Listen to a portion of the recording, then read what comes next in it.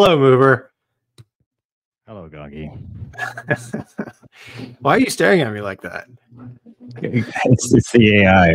It's the- All right. Well, let's hope you don't disappear again. Uh, okay, I'm fixed. we're back. We're having. We're gonna have. I, I, I'm just super paranoid now about technological Should be. issues. For Yeah, if, if you leave tonight, that I mean, Gonky's on his own.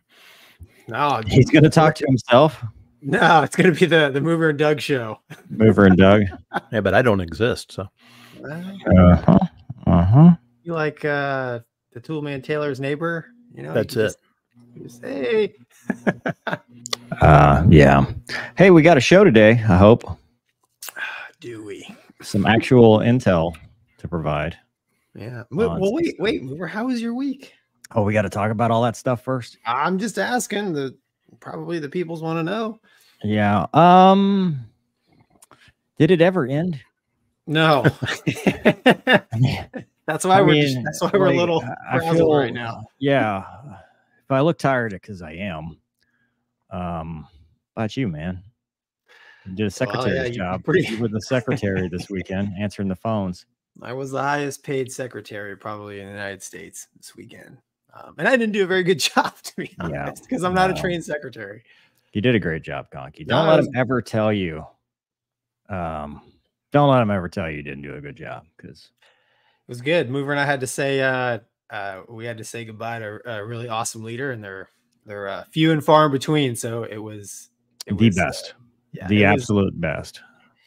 yeah, bittersweet. I mean, I you know it's a, still a great place, and he helped us get there, and everybody moves on. But um, it is what it is. But, uh, but yeah, overall, it's a pretty pretty awesome week slash weekend, and Yeah. here we go into the next one, man.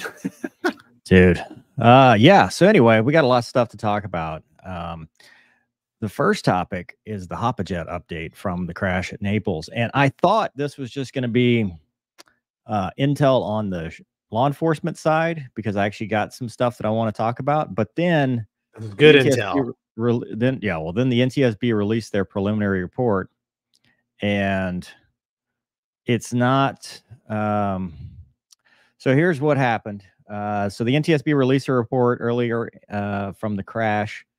The aircraft was going from ohio state university airport in columbus. You know where that is? That's where yeah where you were where your neck of the woods right? I mean, yeah, it's Columbus, Ohio. yeah Uh, so Center it's a. Bombardier's CL 600 operated by Ace Aviation Services doing business as Hop-A-Jet.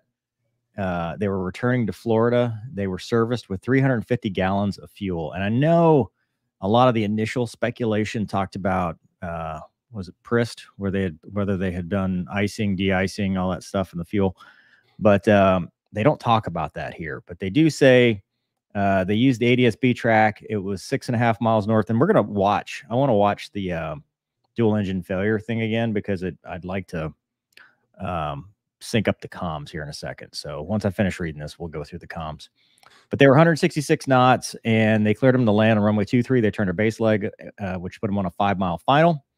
And then they got the F, the flight data recorders, and the flight data recorder said that um, about a minute and a half later, they got three master warnings recorded flagging a problem with oil pressure in the left engine. This was immediately followed by an oil warning from the right engine. Then the system alerted pilots to illumination of a master warning light on the glare shield, a corresponding red message on the crew alerting system page, and a triple chime voice advisory engine oil. At 310, when the aircraft was approximately 1,000 feet MSL and slowed to 122 knots, the crew declared an emergency, notified ATC that it lost both engines. Aircraft was on a shallow intercept angle for final approach. ATC acknowledged the call, clearing the jet to land. Crew replied it was not going to make the runway. Uh, it was at an altitude of 900 feet and a ground speed of 115 knots. The uh, ADSB showed them on I 75 in Naples. Uh, it was rush hour. Oh, wow. Rush hour on Friday. Wow. A lot of cars. Dash cam uh, submitted to the NTSB shows the final seconds. The left main touchdown, and then uh, in the center of the three lanes, and right main touchdown in the right lane. The jet rolled through the breakaway barrier into the grass shoulder area before impacting concrete barrier. I know a lot of people said it hit a car. It doesn't say that here, but that doesn't mean it didn't. Um, So, uh, and then obviously they they caught uh, a large. I mean, it caught fire at that point. Flight crew included captain, FO, and the cabin attendant. And we didn't talk about the cabin attendant. I didn't even know Right. the cabin attendant. I think when we first talked about this, but she did an amazing job. She saved those lives Yeah. I mean, by far. She, I mean, just amazing. yeah. Uh, so basically, she realized the cabin and emergency exits were blocked by fire. So she directed the passengers to the tail section of the airplane and they evacuated through the baggage compartment door. Cabin attendant, the two passengers on board, and a motorist sustained minor injuries. Uh, unfortunately, the uh, pilot and uh, first officer, the captain and first officer, did not survive.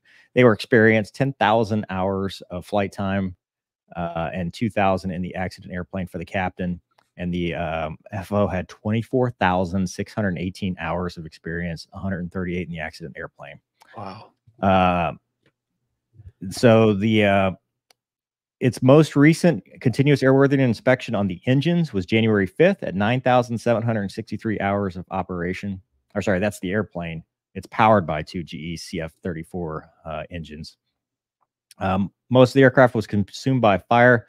It smelled of Jet A fuel, and the ground was soaked with it. I know a lot of people also speculated about running out of fuel. Right. Uh, the center cockpit, uh, cockpit center console was separated, was found separated from the main wreckage. Both the engine throttle levers were found near the idle stop position, which of course is consistent with you trying to land and stop. Flap selector was found in a position consistent with a 45 degree flap extension. Again, you, I mean, you're Normal. landing, you're configured. You're not going to deconfigure at 900 feet. You're just going to take what you got. Left wing was entirely uh, consumed by post impact fire. Evidence of right wing had impacted the vertical steel I beam of a highway sign. The outer portion of the wing had been torn off. Right wing fuel boost pump was located. The left wing fuel boost pump was not. Tail section was largely intact, damaged. They noted the engines were still attached, and approximately 16 ounces of liquid with an odor and appearance consistent with Jet A fuel was drained from the aft tail fuel tank. Sample contained about a half ounce of what appeared to be water. That's not a lot. I mean, that's not a lot of water. No. Um, APU unit fuel filter bowl was removed for visual inspection of the fuel and filter. No debris was noted, and the drain fuel and the filter appeared clean. Uh, fuel was retained for analysis. Engines were also removed for further examination. They did not find any structural anomalies on the right engine. Uh, and examination of the left engine, oil filter in good condition, no particles were observed in the pleats. Uh, fuel samples were collected from berry points throughout the system. Was noted the fuel from the fuel filter and heat exchanger displayed a yellowish tint, while the other fuel samples were clear. The odor of the samples was consistent with Jet A. In addition, the main fuel inlet port exhibited a small yellow colored debris particle. The oil filter appeared in good condition, no particles. So it's interesting, right? You get um, oil indications is the first thing you get. Yeah. It. I mean, I, it didn't say like what kind of oil, right? I mean, if it's like low oil pressure, that's both engines shutting down, right? If it's high temperature, that could be an issue. I, I, I guess where I'm going with this, it's extremely, extremely rare for modern airplanes to lose both engines. both engines, right? Both. That's why initially everybody thinks, well, it's a fuel problem, right? Right. But the think- fire on the ex- when it landed, the explosion, that's that's fuel. right, but uh, so what's the yellowish tint? Like, what are they? Like, they got a little bit of water, but what's the other stuff? Is it the you know what was it some issue with with icing or Well- contamination of the fuel? Some of the you know some of the people in the chat, and they may be onto something. We're speculating now, but if you remember the British Air Triple Seven that basically uh, the engines didn't flame out. I just don't think they responded, and they ended up crashing it just short of the runway. Uh, what the deal there was was in the, within the fuel filters, the fuel had like partially frozen or gelled in the filters because of the extreme out. They were at high altitude for a while. Yeah. and uh, some people are speculating maybe it was something along those lines. But I, I'm with you, mover. It's very, mo- you know, modern uh, jet airplanes with two engines. It's, I mean, it's it's Yeah, extremely. it's- now, granted, it's happened in the A320 like twice because of the FADEC. I don't like birds, but um, there's no birds in this one. Maybe. I mean, they Wow. haven't they haven't found any. You know, they haven't.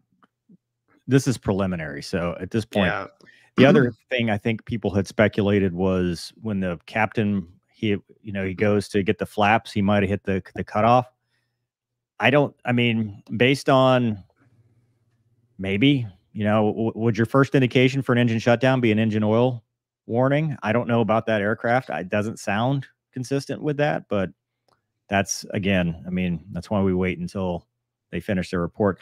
But so it's some interesting stuff we found out, and I want to draw attention. And I talked about this last time. I want to draw attention to the uh, Shadow Five. That was the helicopter that happened to be in the area that did some on-scene stuff, and uh, I got an email or a message from one of the pilots that was there that day, and um, we don't usually, you know, you never really think about the rescue folks that show up and try to help, but I want to play the audio real quick and then I want to read uh, what he said to me and just kind of give credit to what they did because I mean, uh, they still were, were right there and, and doing a good job. So here's the audio one more time. Uh, we've played this last time. Okay, uh, Challenger uh, Hop-A-Jet 823, lost both engines, emergency. I'm making an emergency landing. Whoever's got the emergency clear to land runway 23. Is that Hop-A-Jet 823? Uh, we're clear to land, but we're not going to make the runway. Uh, we've lost both engines. Drop Westjet 574 to hold short. Tower Shadow 5, where's that? Shadow 5, there are two northwest right over I-75. Hop at 823, uh, Everybody stand by. There's an alert three in progress. Everybody stand by. Tower Shadow 5 rescue helicopter request to go to the scene. Shadow 5, proceed direct as requested. Okay. So that's the part I wanted to talk about. Let's remove this real quick and fix that. I got the uh, audio echoing here.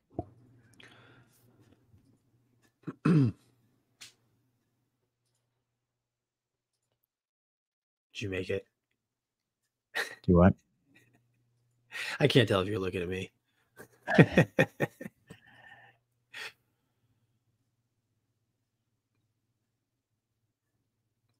Okay, sorry.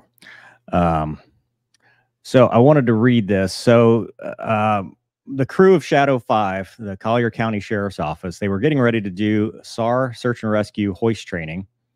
Uh, we had just started, so they were sitting on the pad at Naples with a full crew: uh, sheriff's pilot, sheriff co-pilot, sheriff crew chief, and two North Collier Fire Department firefighters, paramedics. So you already have some highly trained people uh, in the area.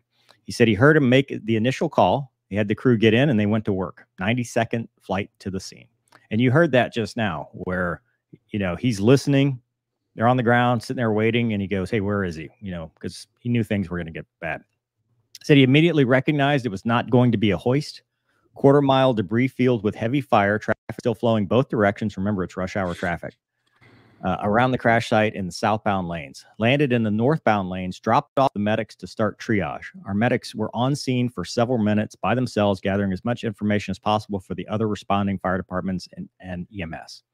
As soon as those guys were off, were out, he took back off with his co-pilot, is handling the scene for law enforcement. So remember, he's flying, and in the other seat, uh, they're actually talking on police radios, like we talked about with Daniel advising where it was uh, and what needs to happen, such as shutting down on and off ramps, painting the big picture for responding units to prepare for a mass casualty incident, eventually the on-scene ground commander and secure the scene. Once we gave as much info as possible and other uh, firefighting departments arrived, I landed the helicopter in the southbound lane, south of the crash, far right lane to leave access for responding units. My thought process was that we normally take crashes that happen off airport property within the county. At this point, was of little value in the air. So I divided myself, my co-pilot, crew chief to check vehicles involved, get names, plates, all the info we could for the report. Eventually, we were told Florida Highway Patrol will handle the report. They were relieved that we had already gathered a majority of the information needed for them. Flight attendant and passengers got out as we were dropping off medics. I assumed they were good Sams checking the airplane. We later found out they were the passengers. talking about working under pressure. Two pilots did the best they could to minimize the impact on others, but the flight attendant surviving the crash and having the ability to get her packs out of the cargo door with literally seconds left before the fire consumed the fuselage needs to be celebrated 10 to 15 seconds longer, and they wouldn't have made it. Somber day, but as you know, we get paid to do a very specific uh, job helping others. It's easy to get sucked into the moment and vapor lock on certain things, but crew resource management and talking to each other can help break that chain of bad decisions to get the best outcome possible.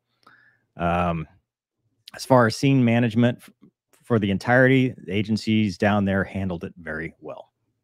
So uh, when I got that message, you know, it sent chills up, you know, because we we That's talked about crazy. we talked about this and you know it's it's that whole be ready because you don't know when the call is going to come you don't know when it's going to happen and it's going to be your time to do do the work now unfortunately they weren't able to save the pilots but they were right there to help the the passengers who had luckily gotten out Yeah, man. Yeah, I mean, you just never know, right? That's why, that's why in any, you know, in the military or law enforcement, rescue, or anything like that, you know, that's the the whole mantra. Of, you know, you you train like you fight because you never know. Yeah. Uh, it's very rare that you know uh, something planned comes along and you're you know you're able to execute. It's usually just you know uh, a surprise like it was for you. But but you know if you're trained and ready, it uh, it you know you Mhm. read read through that, it almost sounds like he you know he wasn't surprised. He just knew what to do, right? not only was he not surprised, but he had the situational awareness. Because you know, sometimes the the risk is always you're sitting on the ramp, you kind of dropped your pack, you're waiting for everybody to load up, you're not really interested, and he was listening.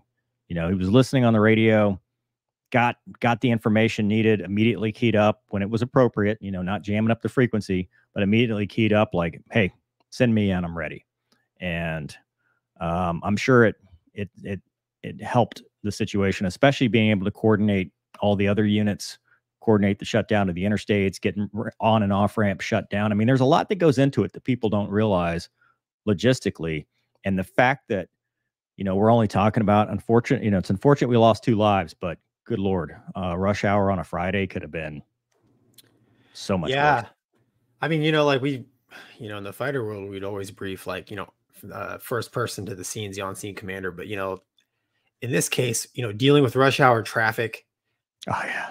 An airplane, you know, crashing just past the uh, the field, but obviously the field, you know, the tower knew what what had happened. I mean, there's a lot of really non-standard dynamic stuff going on there, and they, man, they really, Yeah. I mean, kudos, man. That's that's outstanding. Yeah, for sure. Okay. Uh moving on from that, uh we've got one actually we're going to save this one for uh your later topic. We have some relevant uh chats. Jason says left wing hit top of a pickup truck, crushed the cab, but minor injury there. Uh, I'm people in Naples and really appreciate your so- show. So awesome. Thanks, man. So they, did hit one of the vehicles. I remember that. But I think what caused it sounds like what caused it to actually spin around was hitting like structural stuff from the interstate.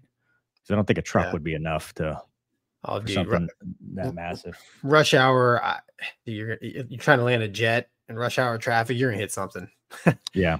You know, Luckily, minor injuries. I mean, that would have been fatal. right? And uh, Justin says the first master caution that appears in a Challenger when engine shut down is oil pressure. So, I mean, maybe. And engine just I rolling mean, back. maybe it goes back to that other theory of the inadvertent shutdown. I don't know. I That's don't what know. investigators are going to figure out. Uh, obviously, there's enough time to put them back and hope that they spool up, so they wouldn't still be in that position. Maybe. You know, I don't know. Yeah. Uh, you're right. You, you don't know. So, okay. Um, moving on from uh, that one, um, the Su 57, which is a very popular topic, fifth gen, not a chance. Fifth Um, not the cars, but the Su 57 has been used. Uh, Russia uses the newest Su 57 jet to strike targets in Ukraine.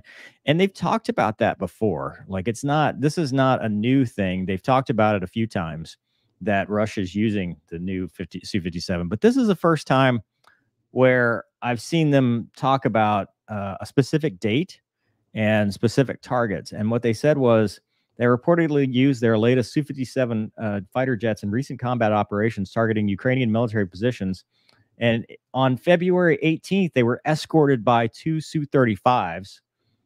Uh, the Su 57 launched a missile strike on Ukrainian targets, utilized advanced Kh 69 stealthy cruise missile specifically designed for the Su 57. Operating from occupied territory, the Su 57 entered the Ukrainian airspace and es- under escort launched a missile. Uh, due to a technical malfunction, the missile missed, crashed into a field. And why? Uh, it was developed by Sukhoi. It's Russian fifth gen. It made its maiden flight. So that's a picture of the KH 69. Hmm. Um, failed to reach its targets. Pre- previous reports indicate involvement in airstrikes on the February 7th and 8th uh, for the missile itself. So it's uh, deployed on various combat aircraft. Additionally, it's been noted Russia utilized the newest Su 57 a missile attack in Russia to make a military propaganda film. Uh, this film is expected to showcase evidence of successful. So that last piece is telling, right? The question of why do you need fourth gen fighters to escort your fifth gen fighter into Ukrainian territory. Um, somebody who had the GoPro out in the back seat for their propaganda film, and then and then it missed, so they're gonna have to fix it in post. Um, Yeah. Yeah, but I mean, think anyone got in trouble for taking that video mover? no, it's on purpose. They were told This joke, uh, inside Putin, joke. Putin directed them to take it, and they're probably going to get their pictures in the whatever the Russian Pentagon is. They'll be in the wall in the Yeah, yeah, When- pretty wild, man. when Putin Um, approves, you end up in the Russian Pentagon. Um, I don't know, man. Maybe they do. I mean, it's not uncommon to do uh, mixed fourth and fifth gen. Strikes. Yeah, into into Ukrainian territory though. I'm just Um, saying, like operating uh, in the West. I mean, we do it. Yeah, I don't know what their w- tactics are, but we do. Um, I don't know. I mean, to me, if you're just if if you're trying to showcase the the fifth gen stealth capabilities, you're showcasing it, saying we sent one, you didn't know about it, and it struck its target.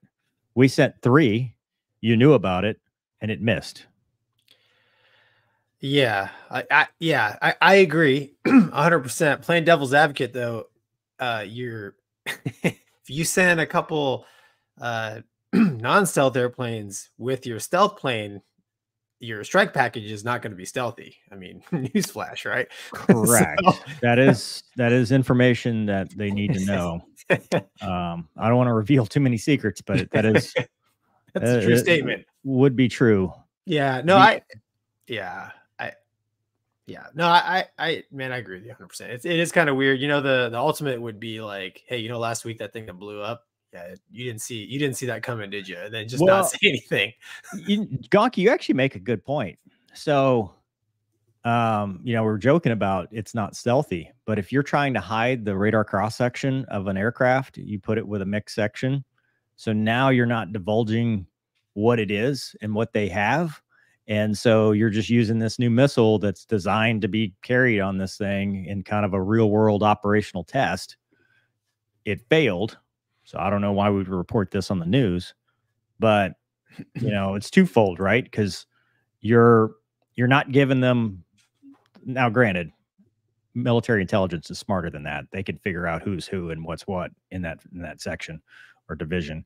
Um, but that could be the logic, right? You're not trying to advertise what the how stealthy this thing is by putting it Right. with non-stealthy aircraft. And there was is a Su 35. I mean, not stealthy. it, not stealthy, but um, It's like they four, don't, they don't have any two seaters, do they? Are there any two seat two thirty fives or no? Oh, dude, I get it mixed up. Yeah. Um, I don't know. It's the advanced you- flanker. You may or may not have a dude filming because if you're because the bottom said it was a propaganda film, right? So obviously you need somebody to film this thing Well, the flanker off. has an autopilot. I mean, I you could you could do it from single seat. It's too. dangerous, Gonky. It's dangerous. Well, Russians are all about safety. uh, You know? Uh, you know, as far as the weapon missing, I mean, you know, even stateside, it's it's a big deal. So this what they shot was a precision weapon, right? So in the US, I know, man, it's a big deal when a precision weapon misses. And it's that's why I mean Mover can back me up on this. Like Uh, Never. I'm not going to back you up on anything. You're on your own. a uh, a smart weapon requires all kinds of validation and whatnot that's recorded uh, before you even employ it because if it does uh, miss its target they want to know why and it's just to make it better and you know it happens with western weapons um, you know i've had a couple not do what they're supposed to do and you submit all the data and you know what you're on the hook for is recording uh, everything Well- you needed to record and then they you know hopefully they they fix it and that's the thing. This is real world operational test. Right. That's these these theaters, the the Houthi conflict, the Israeli conflict. Like we're everybody, in the Americans, the Russians, the Chinese. Everybody's getting real world test data, whether they're observing, whether they're acting, or whether you know they're a, a third party supplying weapons. There's there's so much data being gained, including tactics.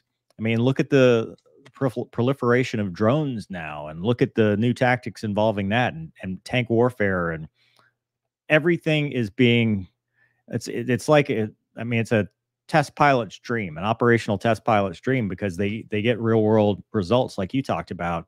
And oh by the way you get you might have gotten a tactical objective if it had hit a target maybe next time no we don't we don't want next time no we don't want next time that's We don't right want next time right. yeah we don't want next time but It is interesting Um, though they're using the uh that airplane and uh to be honest I I didn't really I thought of it more as an air to air. I didn't really think they would use that's because you watched top gun maverick Is it? So is it like that? Maybe that's like when we sent the Raptors to go do some air to ground stuff just to justify it. We're like, hey, mean, uh, let's put some little bombs on there just to. I mean it can, but that does that mean it should? I don't know. Do you, do you think felon pilots are not a pound for air to ground people? And they're like, oh, it missed. Good. Dude, they're we don't do one hundred percent. I guarantee you, they're one hundred percent like super Dog eagle fighters. guys. Yeah. they're they're the Zamboni Russian drivers equivalent. like you've Yeah. never seen. They they did a BFM set after and they debriefed that longer than the miss. Correct. Correct, dude. All right, moving on. Uh, well, let's see. First, before we do that, I gotta make sure we don't have any. Uh, I think we got one. Uh, all right, here we go. Joe says, "Hi guys, Gonky. That was my thought too. Stealth with non-stealth equals not a stealthy package." Um, love your patch, man. Yeah, we love Airwolf. uh, hey, sorry about my previous comments. I have watched piles of your content's really good. I'm not sure what that is. Thanks, to, Jeff. You don't have to Appreciate the support, apologize. We're cool. But going back to this one, you know, I mean, that's right. There, that could be intentional. Like, Yeah. We don't know We what their don't know. tactics are. I mean, it could have Right, been yeah. purely a publicity stunt. It could have been uh, part of their tactics to keep the felon, you know, from getting shot. well, I don't know. Well, because there's well, it could be a um, a mode four or an IFF thing to keep them from shooting themselves down. Because if Or you that. believe the Russians, they have a habit of shooting themselves down. Or if you go with the other side, they're getting shot down a lot, like 14 in the last 10 days, kind of a lot. So they're Yeah, not. if, you, if you're a Russian pilot, you're like, well, going into the country, bad. Coming back home could also be bad. also be bad. Yeah. I don't, which one do I want to believe? They're both terrible. Yeah, but- I'll be- I'm at the get well altitude, everybody. The gear is down. That's the defector profile. It doesn't matter. I'm yeah. please don't shoot. but um, Oh, dude. I mean, they don't. So the because it's not an air to air. Like you're you're not worried about that Yeah. in that scenario with with a long range weapon because that's just the air picture is just not like that. I mean, Right. not yet. Maybe Right. when the Vipers show up and the Mirage 2000s and all that stuff, but that's a, a white a little, little ways away. That's not there yet. So I don't know. It's interesting stuff. But It thanks is for the interesting. comments. and uh, we'll move on to the next topic. Uh, Gonky, you wanted to talk about the Finnish Hornets. This is just Hornet my little things. advertisement for the Ukraine. Uh, so uh, Finland has Hornets, um, and they operate them. I think the Swiss do too, off of roads. And this is just a really cool video of a Hornet doing a mil power takeoff on a road. I don't know. You stopped it, but uh, yeah, there he goes. Pretty cool. Um, yeah, I, I mean, mover, you talk about you know the F sixteen having the big uh, inlet down there, sucking in debris. Um, we did that article about the Ukrainians saying we don't want your Australian F-18 junk, and you know the Hornets, I think, a little more robust airplane when it comes to being able to operate in and out of rough areas, and the Finns do it. And when I worked at Boeing, uh, a plug for Finland.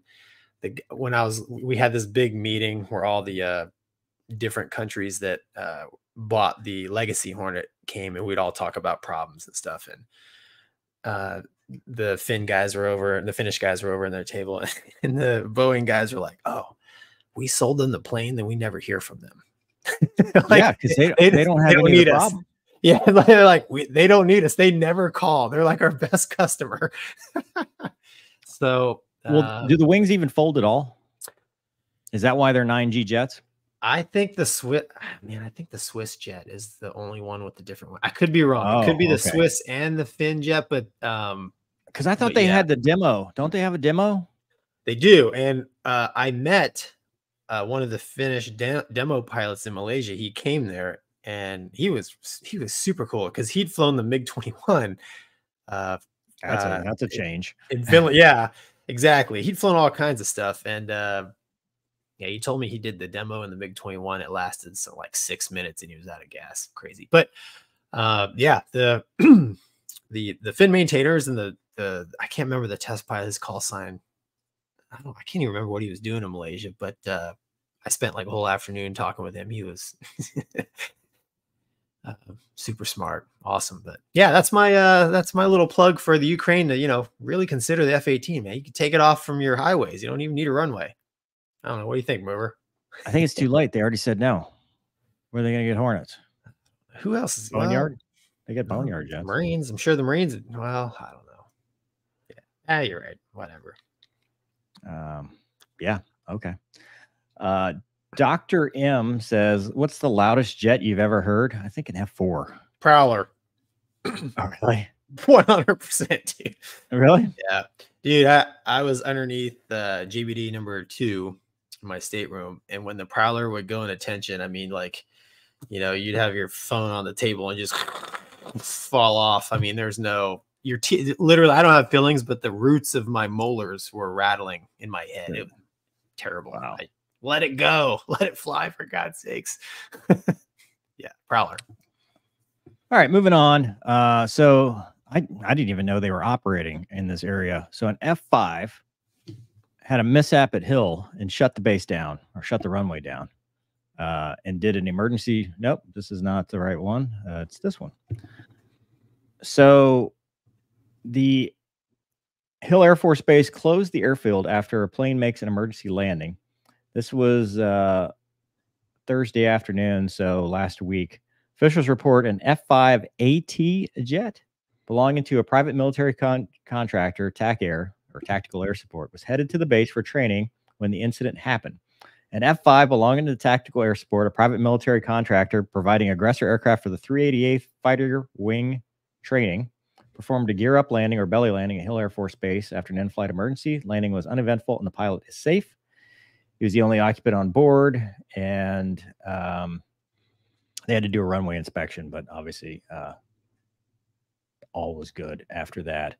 And so one of my viewers sent me a picture. And I don't know where he got it from. I don't know the source. I just this is the recovery. That's a good looking airplane. That's a really good looking airplane. That's a, what is an F5 AT? I don't know, man. Uh, Yeah. I don't know. Attack Tiger.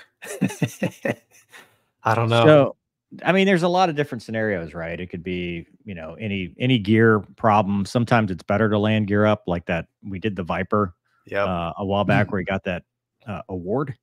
And you know, if you get a configuration that is not survivable, especially with one nose gear, one main gear, or just the nose gear or something like that, typically it's better to bring all the gear up, land on the belly, than try to risk it. You don't really want one main because you'll just go off roading and it's going to be bad. I don't know that that's the case. It could be that the gear wouldn't come down at all. There's there's whole different scenarios, but typically these types of landings are the most survivable for both the pilot and the jet. And it's a, I mean, it's a long runway. The only problem with Hill is higher elevation. Uh, it's like a couple, like 4,000 feet, 5,000, no, four something. Yeah. You. I mean, like you said, movie. You really want to. in a pointy nose, and that's a very pointy nose airplane. You definitely want to keep that thing on the prepared surface if you're if you're landing. And uh, if you don't have like both mains down, uh, you know, if you got the nose in one main, it's Mhm. gonna be super hard. I mean, the, the 38 was similar, right? And that thing had really poor directional control. I dude, I'd rather well, belly land it. I think it's the same s- setup, right? Where you have to hold the nose wheel steering down. If you know, for Yeah, I think you're right. you know, it's not it's a not- on off or anything like that. Yeah, But obviously, the F5, people always ask what's the difference between F5 and T38. You know, you've got the leading edge root extensions, you've Bigger got the leading edge devices, bigger engines, single radar, seat, guns. radar, missiles. right. You know, you've got attach points for Right. hard points for everything. Um, and I also want to point out this was a private military contractor. However, I can almost guarantee that this was an experienced military, former or maybe even current reservist military pilot flying it. You know, Yeah. so there, it's not just, hey, Joe Bob, you got your, uh, you know, you got your type rating in the F5. Come on down, we'll let you fly.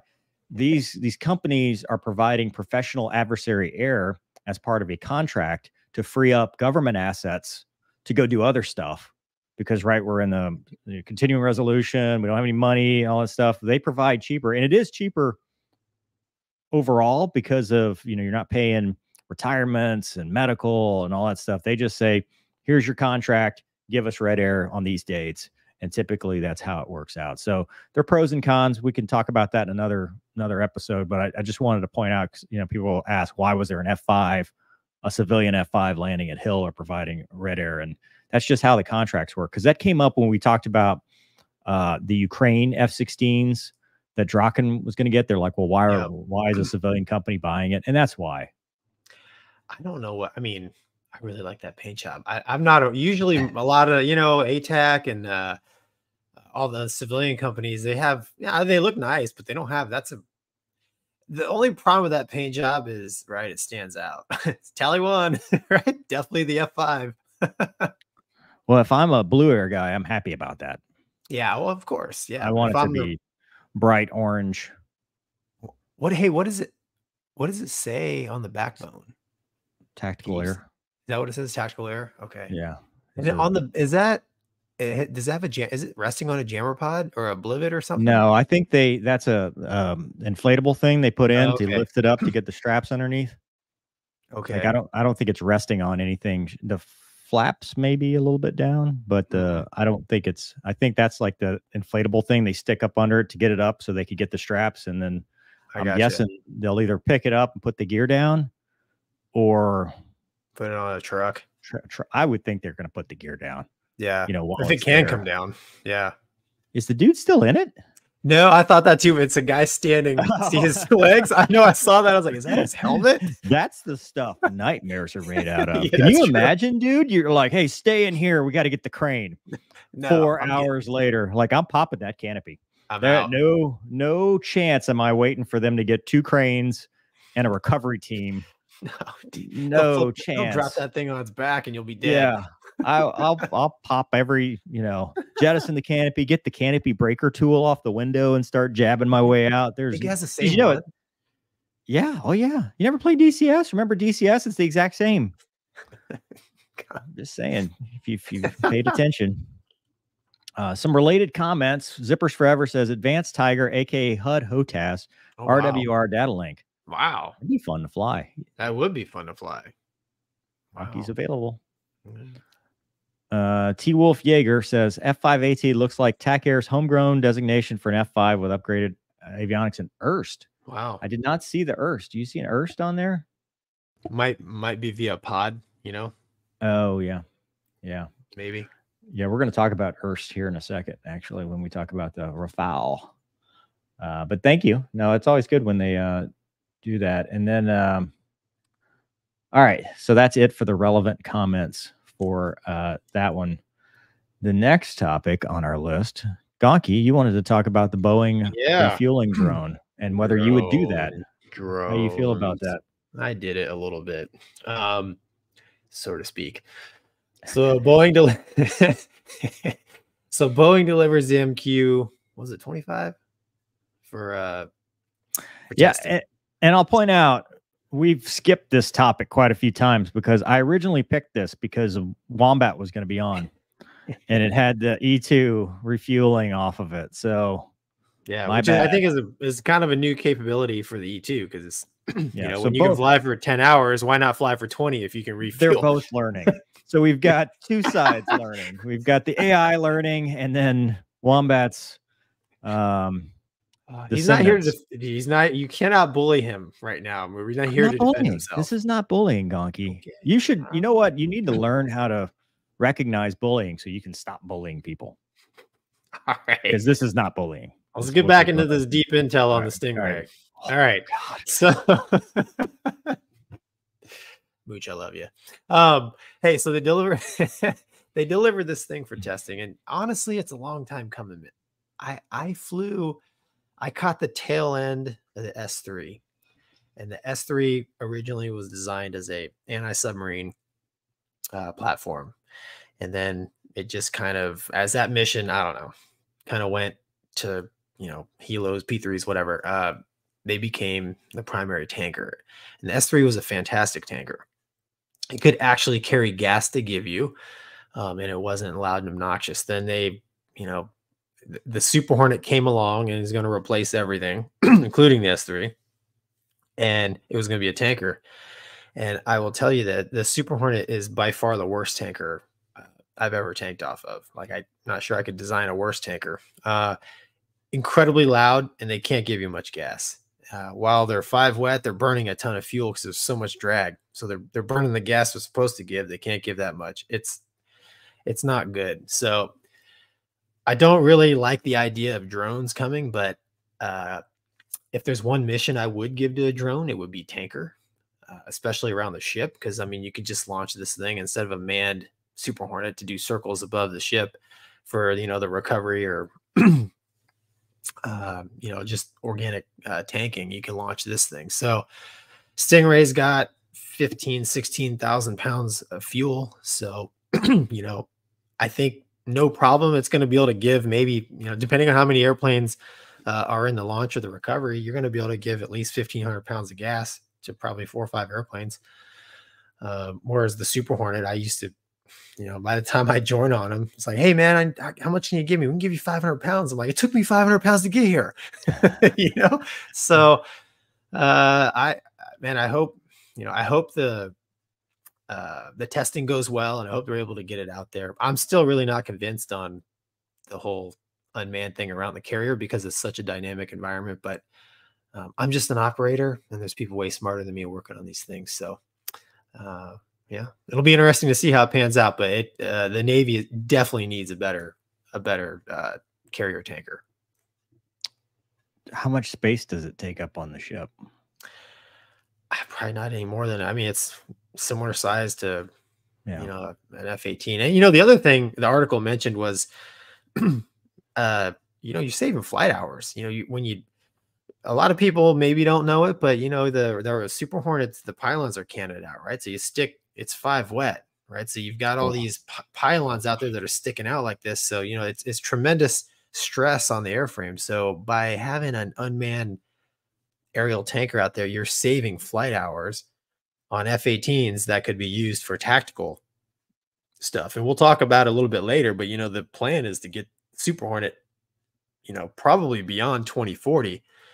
And that ain't gonna happen if you burn up all your flight hours. And while I was in, shocker, uh, when the Super Hornet was designed in the 90s, we weren't, you know, blowing holes in the sand. Well, we spent 20 years blowing holes in the sand, which burned up a lot of the uh, Yeah. flight hours Yeah. in the Super Hornet. So when the Navy guys were doing their planning and they were doing long range planning, they're like, well, Super Hornet should get us all the way to here to whenever the, you know, F 35. I'm sure, I, I don't know if they knew the F 35 was coming then or not, but, you know, it, it, it really compressed the the timeline for them based on just burning flight hours and tanking in a fighter to me is just a horrible idea across the board. Mover Tanking from a fighter, you mean? Like tanking from the fight and being the tanker that's what I'm saying. Tank being the tanker as a fighter. yeah it's it's a Yeah. horrible waste of the fighter of the pilot um And like I said, as a tanker, it's not very good. It doesn't give much gas, and it's incre- incredibly loud. You, the the burner cans are like right here. Yeah, it's not something you think about. Yeah. No, you can't hear anything. You got the the radios turned up full blast. Your teeth are rattling. It's uh no bueno. How much gas did this thing say it would take? It carries fifteen or sixteen thousand pounds. Uh, I I don't imagine it burns a whole lot of fuel. They say it has a five hundred mile range, but to be honest, if you're if you're the recovery tanker, you're just doing circles over the ship. What's what's a normal offload for recovery? You're just taking a couple thousand pounds just to get you to Uh, well, it depends on what the tanker can give. Anywhere from 500 to 1500 pounds is typically what you would get out of a yeah. So you're not you're not. I mean, so fifteen to sixteen thousand pounds will actually get you quite a few. yeah, with decent give, like you know, you probably get Yeah. 2500 pounds stuff like that. Now, you know, it depends on you know if you're if you've just taken off and you just want to top off. So like if we were doing Mm, uh, like self escort strikes. So I would take off and I would go and I would top off. And, you know, if I took 1500 pounds, I would top me off, no problem. So I had full tanks uh, to go. But, you know, if you're coming back from like, you know, my case, Afghanistan, Iraq, and you were getting low on gas, you know, you would take what you could get. yeah. Yeah. Awesome. Thanks, Gonky. Um, Guardsmith says, uh, refueling question for Mover. Did you do in flight refuel with both the USN and Air Force? I did not. No, we never had tankers at 204. Never needed them. yeah. Um, but so here's an interesting uh, chat from the audience. This was on your channel, Gonky, but it was for us, for me, for Thanks, you. DG. Yeah, thanks, DG. But uh, it, it brings up a good point. Um, so, Mover, have you looked at DG says, Mover, have you looked at bogey dope Air National Guard pilot jobs, i.e., F 15 slots with the 122nd Fighter Squadron? Contact Visit Rush, Squadron Belle Chasse, LA Contact, or, or uh, Machine. And a lot of people don't know that this is how it works in the Guard Reserve. So, I wanted to take a moment to actually pull up, and this for sure guarantees there no there's no chance they're going to hire me now. Um, Is this I'll- Fresno? I'll- no, this is No, the but- 122nd Oh, Fighter uh, Squadron. They're the okay. wing. The 122nd Fighter Squadron is in New Orleans. That's right. And That's right. so this is how hiring works in the Guard Reserve, especially. So you would go to a mill recruiter uh, first, millrecruiter.com, and then you would go click on the link. I've already done all this um, previously, just now. And I wanted to read this. So, and so anybody who's actually interested, you know, if they're interested in, in applying, because this is both UPT for undergraduate pilot training. So if you're off the street, hint, hint, uh, or if you're rated, like this old guy's over here, you can apply. And so they say they're commonly known as the Bayou Militia, which that changed in the area of political correctness because that's not how it used to be. It's currently searching for potential current fighter pilots to join our rich heritage of Eagle drivers.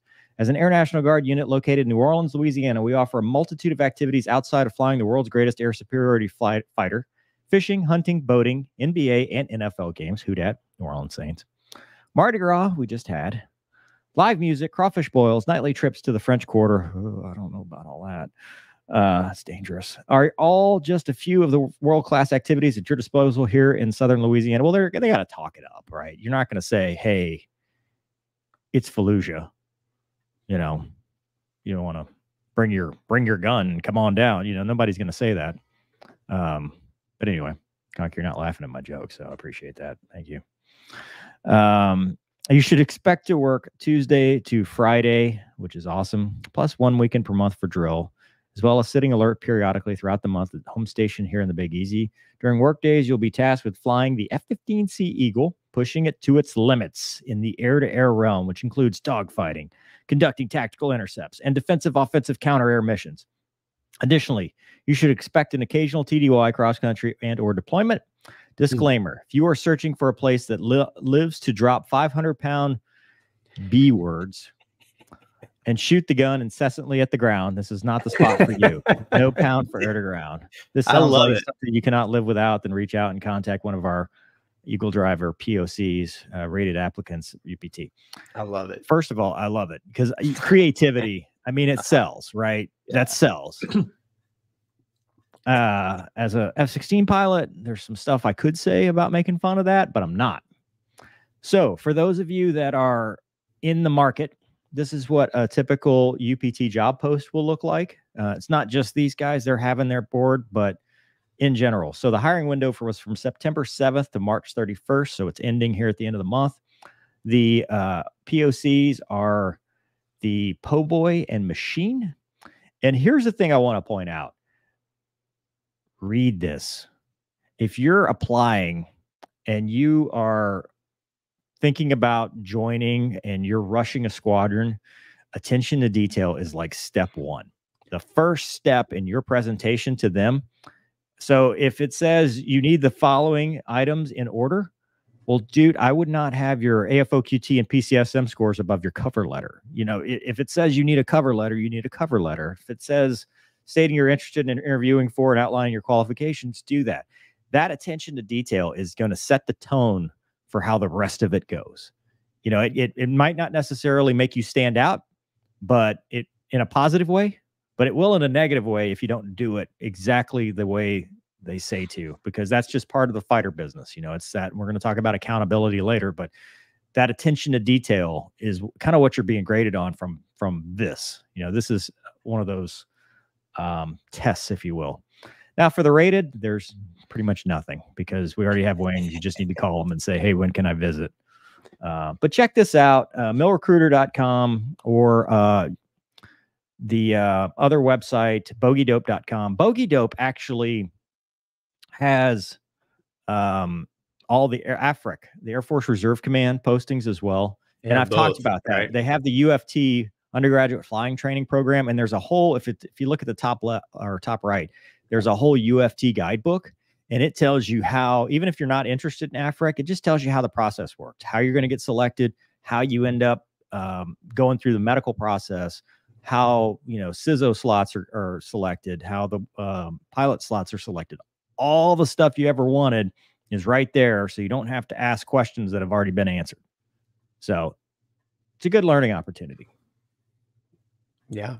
Uh, anyway, so I just wanted to talk about that real quick because uh, and then uh Wicked Spider Black says, Have you two ever think of going to space? I tried the Hornet. I started to run out of gas. Uh I would I would go to space. Uh if that's Elon Musk asking, I'd go. no, not me. I said it last time. Any place you go, you take your helmet off and your eyeballs pop out of your head. But that's not how it works. We've, we talk we, we talk about this every single time. It's not how it works. It kind of is. huh? Have you seen Total Recall? Okay, so you're gonna see three boobs. Pop- Let's hope not. Garrett says, uh, earmuffs, kids. Garrett says, you need Mooch on the podcast. Where would the drone be controlled? The carrier? How many can you possibly keep? Now, it, Garrett, is People this, like Mooch would be controlling the well, drone. that, that's my question. Was this, Just- was this a subtle jab at Mooch that he would be the drone operator? Garrett, you Oh. teed it up. I just couldn't resist. I, I, I couldn't resist, I'm, man. I'm, I'm curious what, ah. why these are this is like a stream of consciousness? Are you trying to say that he, Mooch he is it the- up, dude. all-time drone operator for refueling drones. Honestly, I go. think it would just be AI. You could just program the thing to do the thing. Like you really don't. You just need a some kind of data link to tell it when to extend and begin fueling, which you could probably do it with a sensor once it knows you're plugged in. Yeah. Like what else? We don't need those people, is what you're saying. we don't even need that. Yeah, it's just like here, launch it off. It does its thing, and it'll see you later. Yeah. Yeah. You need AI. Yeah. You need Gronk. Um, all right, let's get this train back on the track, shall we? sure. Is it my turn already? I It don't is. know. What's next? Yeah, we're talking about the um, our Is it Singapore? federal government. No, Oh, we're talking about the federales. Oh, look at that. So- In recent news, don't mess it up. yeah, I put the right pronounce spelling. Now I'm not going to say I'm going to pronounce it right, There's no even though. Reuters Reuters did the old way. So send all hate mail to them. yeah, they said they spell it just like the bird. The bird. Uh, U.S. Senate defeats bid to stop F-16 fighter jet sale to Turkey. Did I do it right? Don't ask me, dude. Apparently, I don't know. massive country of of Turkey, and that's not sarcasm. No, yeah. They're, they're a huge country, just so you know. We've we've learned from our ways. The U.S. Senate on Thursday soundly defeated an effort to stop the 23 billion dollar sale of F-16s and modernization kits to Turkey. Remember, we talked about this before that they had approved uh, a whole bunch of stuff, right? F-35s to Greece, uh, the Hellenic Air Force. We talked about how that was kind of because they've got that uh, GNC stuff going on, and we're like, oh, that's kind of. But they're all NATO partners. And the reason we'll talk about actually the reason why here in the next segment about the, the S 400 and why they probably didn't get the F 35, but they had gotten a modernization. So they were going to be upgraded to kind of that Block 70, what everybody else calls the Viper, even though they're all Vipers, uh, with the, the AESA radar and the, the new pods, the HTS pods, the missiles, everything you could Im- imagine, both buying new jets off the factory, which obviously is good because it keeps the factory going and then also um, modernization. But the Senate, sponsored by Rand Paul, had tried to block it, saying that uh, the sale would embolden misbehavior. And the backers of the sale said it's important for Washington to keep its word for a NATO ally. And basically, uh, the vote went uh, 79 to 13. So it really wasn't party lines. It was pretty, um, I mean, that's, Yeah. a, that's a pretty big margin. Biden administration had informed Congress on January 26th of its intent to proceed with the sale of 40 F-16s and 80 modernization kits to Turkey a day after they fully completed ratification and NATO uh, membership of Sweden. So that might have been part of the deal. Hey, if you ratify Sweden, the sale had been held up for months. Issues including refusing to approve Sweden's accession to the military alliance. Turkey first asked to make the purchase in October of 21. So this has been going for a while. You know, you're you're talking better part of two years. U.S. Arms Export Control Acts give Congress the right to stop a major weapons sale by passing a resolution of disapproval in both the Senate and the House. Although laws have been in effect for half a century, no such resolution has passed both has has both passed Congress and survived a veto. So odds are if that would have happened, he would have just vetoed it anyway. Sweden and Finland applied to enter NATO after Russia invaded Ukraine in February 2022. Finnish membership was sealed last year. Sweden's bid was held up by Turkey and Hungary. Uh, all NATO members need approve approve applications from countries seeking to join the alliance. So um, we we've talked about the good and the bad, right? For now, they are NATO allies, and I'm not. I don't think that's going to change. I'm just saying, as the as the current sit as it sits, they are NATO allies, and as such, if you're going to say they're NATO allies, then we have to support our NATO partners. Yeah, the only thing that I mean, I I'm a huge supporter of just doing business instead of war with the entire world. but I do find it strange that, and I guess I mean we're going to talk about it a little bit more later, but you know we're not going to sell you the F-35s because you bought the S-400, but we are going to sell you F-16s with the modernization kits. So, you know, I mean the F-16, you know the the ones they're getting with the more modern ones is a pretty advanced airplane. I mean, it's not an F 35, but it's an advanced airplane. I just think it's strange that, like, okay, if you're going to, you know, if you're going to uh, penalize a country like Turkey for buying an S 400, then I'm surprised it's not including the F 16. Like, no, you guys Well- want to play with the Russians, that's fine. But I, I, understand they're NATO ally. I just, I just find it interesting. That's all. Yeah, but I think the logic is not necessarily punishment; is exploitation, right? Oh, you Oh, have 100%. if you have Russian partners that are giving you S four hundreds, the Russians who are on the ground are going to take that and use it to exploit the F thirty. They're going to test it against it. A hundred percent. They will get all the data, and we don't want that. The F sixteen has been around, and remember, we're not producing the F sixteen for ourselves anymore. They, not a single F 16 that rolls off the assembly line goes to the US anymore.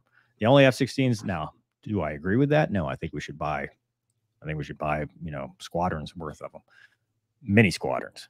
But as of right now, every F 16 that rolls off the lot is foreign material sales. It's, a, it's an export version. So they're already getting what the US State Department has approved technology wise for them to get. So it's it's and and and it's no different than any other country, right? It's not it's not the F-35 technology that we talk about. It's it's F-16 technology that is specific to them. So I, just- I understand that, but you know, Yeah. there there there there is technology there that I, I it just surprises me that uh, they would pick and choose like that. I mean, I, I understand the F thirty five S four hundred, uh, sure, but uh, you know, I consider the F sixteen still a very uh, lethal weapon in the game of It it is, but again, it's the export version of the Yeah, F-16. It's Oh, it's the it's the one that's being built specifically for these countries. I mean, Taiwan's getting them. Oh, I I think know. Singapore is also getting them. Yep. You know, all of these allied countries are are buying the exact same, and all they're doing is giving modernization kits and brand new jets. Now, granted, the technology has caught up. So that these F-16s are just as good as ours, but the trump card is we've still got the F-35, we've got the F-22, we've got the F-15EX, U.S. versions and stuff like that. So yeah. I don't know. I just Yeah. I just still think it's weird, but uh, that's just my own opinion. I don't, I'm I'm glad they're getting them, man. I Well, and we're going to talk about that here in the next or a future segment uh, about the reason that that might change, right? The F thirty five thing might might change because they're kind of changing their tune a little bit as well, but we'll see. Uh, all right, going to the audience, see if there's anything. Turkey, the USA's second choice for national bird.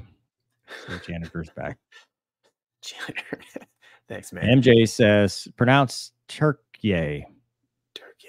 Okay. Is it. Turkey A, Turkey A, or Turkey A? Turkey or Turkey A? We're just pilots, MJ. Like We're not that smart. Turkey not- hey, I can't. May the fawns be with you.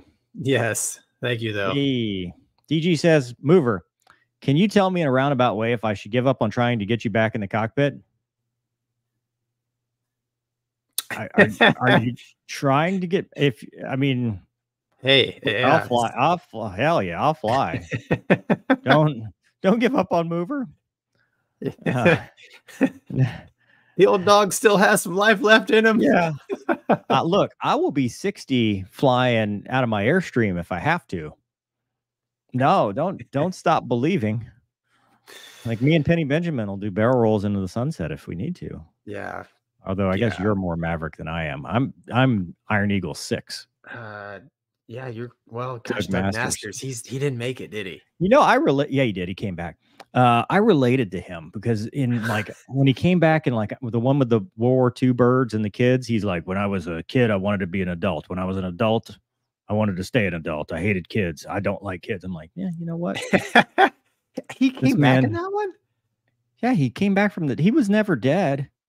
Oh man, I'm gonna have They to killed him in, my. in two, and then they brought him back to life. It turns out he was just a POW. next, uh, yeah, Spoiler next alert. TDY from hell we have. Mover have, instead of instead of Airwolf series, we'll have to watch. Uh, I don't know about that. Okay, here we go. Uh, T. Wolf Jaeger says Turkey has been spelled and pronounced Turkey. Yeah. In Turkish since the country became a republic in 1923. Okay. I feel like it's more recent than that. Anyway, Yeah. DJ, don't stop believing. Let's just we'll go back to that that one. It's just it's a it's an uphill battle. I'm just it's uphill. it's not it's not an easy sell. yeah. Yeah. Got nothing. He's like, yeah, sure. We'll probably just stick to YouTube for now.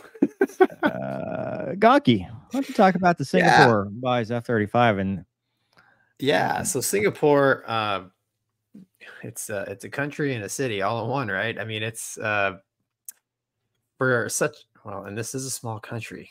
I know this because I've been there. they have a pretty formidable air force, so they're buying uh, they're buying F thirty fives. And I I actually until I read this article and did a little deep dive, I didn't know that they are buying the A and B version. So they apparently they bought the B, and now they're buying buying the A. And obviously the reasons are because of the the tensions in the area, right? So that's you know, China's right there. And when I was in Malaysia, you know, even the Malaysians were um I don't say nervous, but they definitely kept their thumb on the pulse with what China was doing because in uh, Eastern Malaysia they had all their oil and stuff, and um, the Malaysians and the Singaporeans actually used to be all one big happy country and family, and they split. And so uh, I know Malaysia would kind of compete with Singapore as far as uh, border, um, like flying airplanes along the border, just kind of keeping each other in check. So I I read this article and I just thought that man, this is probably going to cause the other mil- air forces in the region to also raise their game, which overall might be good if you're trying to keep a country like uh, China on its toes Yep. or maybe at bay. But uh, Singapore has for for I uh, like I said, it is geographically it is a small country. Uh, it, they've they've got a pretty powerful. Uh, they have a very powerful air force, and we were there. We the Stennis pulled in there and. I 06, 07 whenever I was there. And I mean, you know, not only do they have a really awesome fighter force, but they got Apaches and uh, they don't mess around. So, and they're a very disciplined, uh, very clean, neat, orderly uh, people and country. So, uh, it's I, I I think the F thirty five will suit them well. Yeah, and it says there, you know, they're noting the growing capabilities of the Chinese People's Liberation Army Air Force, which has begun, uh, you know, flying the J twenty. You Yeah. have to counter the threat, and that's how you do it. You you peace through superior firepower, peace through Yeah. strength. Yeah, hundred percent. I mean, I mean that's yeah. I mean, China has stuff they can reach out and and if you're Yeah. in that region, they've got stuff they can reach out and and get you. So I mean, you gotta you gotta you gotta have some pretty high powered stuff, and you know they're getting it. So that's good. I mean, yeah. Have you ever Yeah. done any training with the Singaporeans mover? I think they were in uh, Luke. I haven't done training Yeah. with them, but I know people that flew the Viper like Yeah. with them and stuff when they were at Luke. Um, but no, I've never flown directly with them. So here's the question: What is their, and this might be a little bit too geopolitical, but what is their take on the whole Taiwan stuff and China's insistent uh, insistence in their one China policy? And and would they become involved right because it that that's the first domino if you start talking a pacific theater front Yeah, I honestly, Or man, I think they're too far to do. Is it just Um, deterrence for you know e- expansion You know, Yeah, are they they're they going to donate their their jets to uh, that kind of cause I, I, it's my belief. It um, could be wrong, but having spent some time there in that area flying, uh, a lot of those uh, countries tend to have more of a defensive mindset. Yeah. So they're going to preserve uh, what they have. Now, some of their interests, you know, may be beyond, you know, their actual real estate. You know, like Right. for example, like I one time the Malaysians let me go on their deployment with them, and uh, a lot of the areas we patrolled were out over the water because a lot of the oil wells and fields and stuff were they were you know uh, rigs out you know out uh, in the ocean but that was you know their sea space so yeah i you know singapore there's all kinds of commerce and money stuff going on there you know the port's real Mhm. active so i don't know if uh, you know how much of that they would that they would probably try to keep that going because singapore has no natural resources oh it's it's it's literally I I joke it's a country and a city all in one because it is.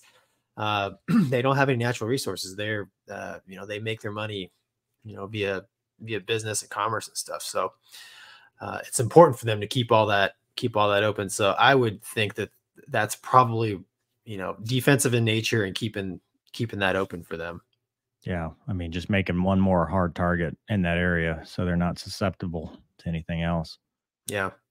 Um, Yeah. Didn't it, I'm just as an aside, wasn't Malaysia involved in Somalia in the Mogadishu uh, in 1993? Weren't they part of that UN force that actually helped save the the Rangers? I don't know. I don't know, Seems like man. I remember uh, Malaysia was involved in that. I don't know. Um, yeah. Um, so Crazy Pete says now you're bullying Singapore. It is sad, actually. You're I love Singapore. We uh Mhm. no We uh. San Sentosa Island is is where we stayed, uh, and it was it was a it was amazing. Uh, I loved it. Very expensive cab rides, but other than that, it was awesome. Mhm. They don't sell gum MJ's there. Okay. MJ says that's one of the diminishing benefits of being an Aussie. No one expects us to be able to pronounce anything correctly. oi, oi. Same with us who live in the South. Damn right. Cal Naughton Jr. said, I mean, Cal Neighbor Nebauer says, thoughts on the Bombardier 8000? The hell is that? I don't know. Now they're just making up numbers. Probably better than the 6000. I, I I honestly don't know anything about it. I don't. All right. Well, Gonky, moving on to the next thing that I would like to talk about to you tonight. So, nice, nice looking airplane, dude. God, uh, it really is. And so we took a little bit of uh, hate when we bu- when you bullied the um Dude, the French. I don't bully the man Fr- G-str- the, the French there were foul. Remember, we did that video. You got us canceled. That's actually the video that got us canceled. So please don't say those words again. is it the one where he fought the raptor? Yes, and the Raptor kind of graped around, and everybody's like, "Oh, two tanks? Raptor suck." Yeah, was, it- he was pulling like three G's, and there were fouls like nine and a half G's, and his G strain was a little high pitched, a little bit on the high pitch side. I thought it was a little bit. Who's bullying now? It's just a debrief. It's a debrief. It, Oh, uh, okay. doesn't mean. But listen, in this Okay. article at this time, now, um, I am not bullying the French because I am excited for them for their first French Rafale F 4.1. It reached IOC, inter- initial operational capability, and that's an important milestone. We had uh, the Air Force engineer Rick Abel on the channel, and we talked about kind of the milestones, and it's kind of universal, right? They start out, you know, in the initial test, then they go to operational test, then it's IOC, and then it's fully mission capable and or FOC, I think is is what they're calling it here. But so the- the article says it's upgraded to a 4.1 standard, which is actually they're just modernizing. You know, you're getting into that closer to that Gen 4.5, where you're in this sensor network. Uh, there's a data link. They've got um, I think it talks about it here. Yeah, so it's uh new satellite intra-patrol links, communication server, software, radio, a new helmet-mounted sight, uh, a one-ton precision-guided bomb, the Hammer, which isn't that a cool name? Uh, improvements to the air-to-air and air-to-ground targeting systems, enhancements to the self-protection system, integration of the Talios targeting long-range identification optronic system targeting pod, and that's important too because it's always a good thing tactically speaking, when you can reach out and see something or target something with just optics, with an IR, an IRST, something like that. So, really cool capabilities, a substantial improvement uh, for the backbone of the French Air Force. And uh, they're going to prepare and operate alongside uh, French, France, Germany, and Spain. They'll, they'll be equipped for a high intensity conflict and one of the priorities of their new planning law from 2024. But that's a good looking airplane. And and going back to what we were just talking about, it takes nothing away when we talk about the Raptor thing. It's a badass machine. High AOA, pulls nine Gs, has a great turn rate, both instantaneous and sustained. It's a performer performing aircraft. And when you upgrade the sensors, more modern, you know, get the color displays, get the moving maps, get the data link, get the targeting systems. Now you've just made a more capable ally in future conflicts, which is important in Europe because, again, we've got a hotspot in Ukraine. Everybody's worried about it spilling out. The stronger the allies are, the better off everyone is. And upgrading it is important to keep up with new tech. Yeah, I'm a big fan of countries developing, you know, their own weapons. I mean, the the French built the Rafale because they were tired of messing around with the Typhoon, and you know they built a really good airplane. And it's good to see them continue to advance it. And I'm sure you know the sales to India and other countries have have Mm. helped because this ain't cheap, right? I mean, in France, That's what I was going to ask you about. Actually, is the didn't we do an article about them selling it to India because India Yeah. said no to the Super Hornet? Yeah, the Indian chose it, which the Indian so the Indian Navy chose the Rafale over the Super Hornet, and but the Indian Air Force had already been flying the Rafale. So the there's a carrier and uh, non-carrier uh, mission that it can do. Um, it's one airplane I've always I've always wanted to fly. I never. So uh, my buddy Kunte in Malaysia, he flew it, and he he's like, "Oh man, it's like a Ferrari." I'm I like, believe it. I'm like, what I does that mean- mean? He, he's like, "Oh man, it's it's just so fast." I'm like, I- It's a it's a good looking airplane. Yeah. It it performs really well. And my question then is, so is it like like the midlife upgrade, right? We took older F-16s and we upgraded them, especially the export versions. We upgraded them to kind of a Block 50, Block 52 standard. You know, the Super Hornet, you can change the OFP and and upgrade them. Is it something like this, or is this like the Super Hornet where it's a whole new airplane and you can't retrofit to the older models? No, it's uh I'm 99% sure it's not a whole new airplane. The, the Super Hornet is a Yeah. uh, from the intakes back basically is a completely different airframe. Um the uh the Rafale is uh they've upgraded, you know, the the innards, which I mean in modern fighter fighter planes, that's what I Yeah, mean, I- that's- that's and we did that of the- A- and you did that you see that with the f-16 Yeah. you know the the the some of the the external hardware is different between Yep. you know block 40 block 50 block 30 but then you know the block 40 they call it mmc jets the block 40s and 50s all share that same software the block 30s were the SCU um, so they had their own software and they upgraded them separately so Yeah. if that's the case then that means these newer jets that are coming out the the indian versions and export versions and stuff like that will be able to be upgraded as well as time goes on and and they're fully confident with it. So i mean good for them. Yeah, we we actually uh the Charles de Gaulle, I mentioned it a while back, but the Charles de Gaulle came out and we did some exercises with them and the Rafale was there and uh I did I fought them BVR uh but I didn't get a range.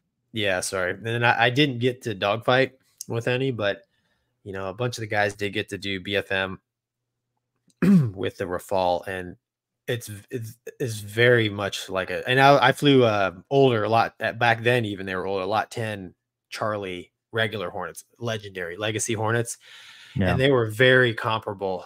Uh, so, and I honestly I don't know like what variant of the Rafale the French Navy was flying back then, but you know I wouldn't be surprised if it's kind of kept on step uh with like Super Hornet as far as like a lot of the radar and counter Yeah. like you know that kind of stuff. So Well, I, I'd also be interested to see how it changes the performance because they didn't talk about any engine upgrades, right?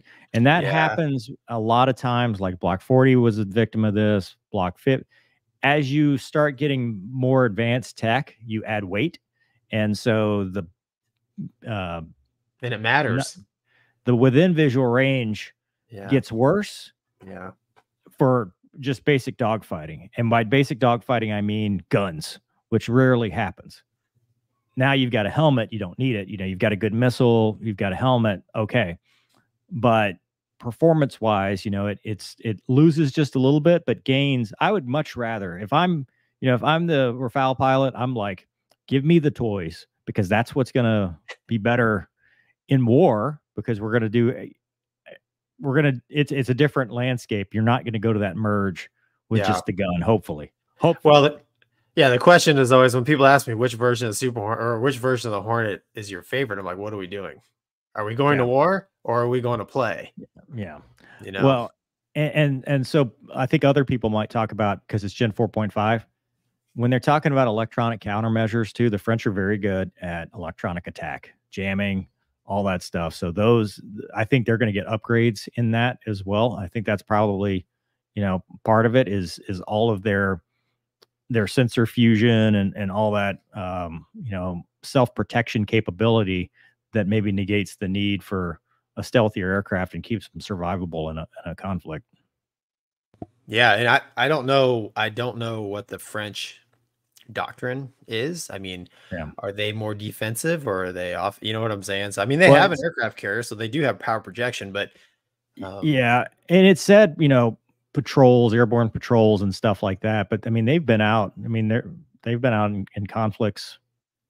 You know, they've been they've been fighting in in the Middle East. You know, they've done yeah, Plenty of That's stuff. what- they have. That's what they were doing when we were working with them. They Yeah. were they were out there, uh, you know, doing OEF. Uh, yeah, I don't know OEF or OIF, one of them. But yeah, I I would man, I'd love. I'm superficial, man. It's good looking airplane. I'd love to fly it. Well, it looks. I'd love to see a Gripen next to it. I You know the new the new Gripen E. I would love because they look. Yeah. They you know the they look very similar. I'd fly, fly the Gripen too. Yeah. Gripen Hey, people are you- listening. hey, listen. Keep keep. Don't give up on us. You can give up on Gonky. yeah. Don't give up on Mover. Uh, yeah. Uh, janitor's back says, and the Rafale can uh, land on the U.S. carriers. That's true. I saw it with my own with my own eyes. What is the what what does that? What's the delineation like? What what determines whether you can land on a U.S. carrier or not? That's a great question, man. I, I like from a from a equipment standpoint, I would think you just need a hook and some sort of light device on the front so the LSOs can confirm that you are flying the appropriate angle of attack slash speed to come aboard. Uh though I don't remember they may have done it since then, but pretty sure they were doing all touch and goes and our guys i didn't get it i didn't get to go over there and do it but our guys were doing touch and goes as well i don't think anybody was was hooked On their ship? yeah Wow. And they they the short do- ships, right? They don't. They just.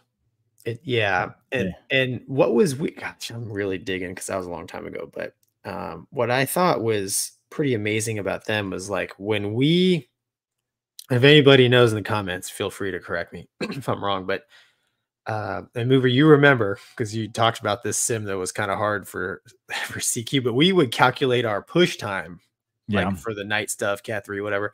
So we would calculate our push time which when flown correctly correctly would dictate you know the interval at trap. The french uh calculate their like over the ramp time which to me is like how the hell do you do that i uh, we had a we had a French we had, we had uh, a couple French pilots come over and hang out in our ready room, and we sent a couple guys over. They have bars on their ships, just so you know. I think they're- Nice. yeah, they're doing it better than we are. I think there's three bars on the ship. I don't drink, so I was like, all right, one of you guys go, live it up. And uh, they brought a couple French uh, pilots over, and we, you know, we are just learning about uh, one another, and you know, it, there was there were some differences with with procedures, but at the end of the day, you're still landing land a jet on a ship. So Yeah. No, that's awesome. yeah, Cool. All right, moving on to our uh, next topic. Um, Gonky, you get What to say the name for your hate mail. dude, I'm gonna say it like we do here in the South, Turkey. Um, it's no disrespect. I don't. We don't. Hey, we don't even know how to say it correctly until somebody calls in. You know what? Somebody call in, leave us a message for next week, and educate us on this. Go. I'm not cyberbullying here. I'm being honest. Well, yeah. So we've kind of added mover. We've kind of talked about this article already through the other things we've talked about. But hey, will Turkey ditch the S400s for F35s basically? So it's a bit of a long article, but if you read through it, it basically talks about their decision uh, to buy the S400. You know, they were Turkey was in on the on the F35 development and buy-in, and then they got essentially they got kicked out, which is what then sparked their uh, desire uh, and to build their own uh, fifth gen fighter, which we've talked about, the Kaan, which just did its maiden flight about a week ago or so. Uh, but apparently, getting the F 35 is still on the table. There's some talk about, hey, that was a big mistake. We shouldn't have done that. So, you know, if they decide to uh, not go through with buying the S 400, uh, I guess it's possible they could still uh, they could be let back in to the F 35 program, but uh, I'm sure there's a ton of politics involved, uh, you know, between that decision happening or not. But uh, it's still on the table, and it's you know it's really I, the way the article reads. It's kind of up to Turkey if they want to do it or not. Doug, did I miss anything in there? I know you read through it. It's kind of long. It's a diplomatic that's it. catastrophe. That Yeah. those are the important details. Yeah, yeah. They Yeah. called it a, a diplomatic catastrophe. Oh, and I wanted to say in here they did say that the uh, F-16 was inferior to the F-35. Just wanted Mover to hear that. Um, That's, that's your opinion. it's not my opinion. Um, Whoever wrote this is, is a RFI. there it is. But the is wrong F sixteen is inferior to the F thirty five. Yeah, you can you can just go ahead and take that down. We're not This is fake news, this is- according to Mover. I don't this know, is- man. What, what That's not not deep intel at all. you know? I would think it'd be way easier and cheaper to develop to develop your own SAM system than a fifth gen fighter. So if I was Turkey, Well, why, why don't they want like the HIMARS or or whatever? Like, why didn't they want Patriot, U.S. missiles? Yeah. What what what is the why of all? So, what does Turkey fly? question. Do they have what? Do they have any other Russian ties? Is this the first Russian equipment that they would?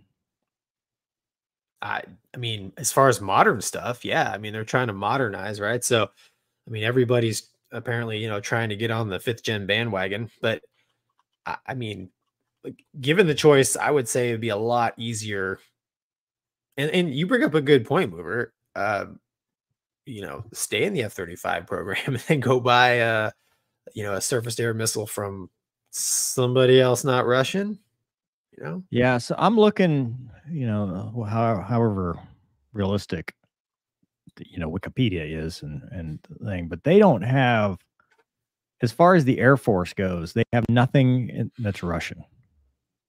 Right. So their inventory of aircraft have no Russian ties. So I guess from a diplomatic stance, if if you're going to all of a sudden do that, it does raise some eyebrows, right? Because it's not like they have an established relationship like Malaysia. Malaysia, you know, they're flying MiG 29s, flankers, and then they got Hornets, and, and then they're trying to move on. It's not a mixed fleet where they've already got this established relationship with Russia and they're trying to kind of diversify and all this. They're a NATO ally that has most as Western equipment, and all of a sudden you're buying a double digit SAM or for the kids at home, you know, for S400. To explain that, we usually think of SA, you know, 10, 20, 15. We don't Bad. use S400 moniker Right. in our Right. lives because that's just not NATO. But so all of a sudden they're doing this. And so there's two ways that can go. It can be exploitation for Turkey against the S400, or it can be exploitation the other way. And if if you're saying it's a diplomatic strain, then the assumption is they want this F-35 and they're going to go hand off the data to their their new friends, and that's a bad thing. You know, when you're a NATO ally, you don't want to be. The whole point of NATO was against the Warsaw Pact, right? I mean, it's it's the defending Well, and against it- Russia. And it's like you said, I mean, they're going to get the export version of the F 35, you know, kind of like the export version of the F 16.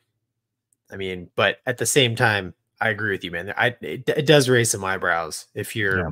If you're, if you got Western equipment and you're like, hey, why do you want to go buy this, you know, Russian high end SAM system? But Yeah. uh, it, it probably politics involved. Um, oh, not probably. A hundred percent. well, there's definitely politics involved. Probably Yeah. some money floating around there. Um, Yeah. it's just too bad. I mean, yeah, I, yeah, I don't know, man. Yeah. Okay. We got some uh let's see. Do we have anything from the kids at home?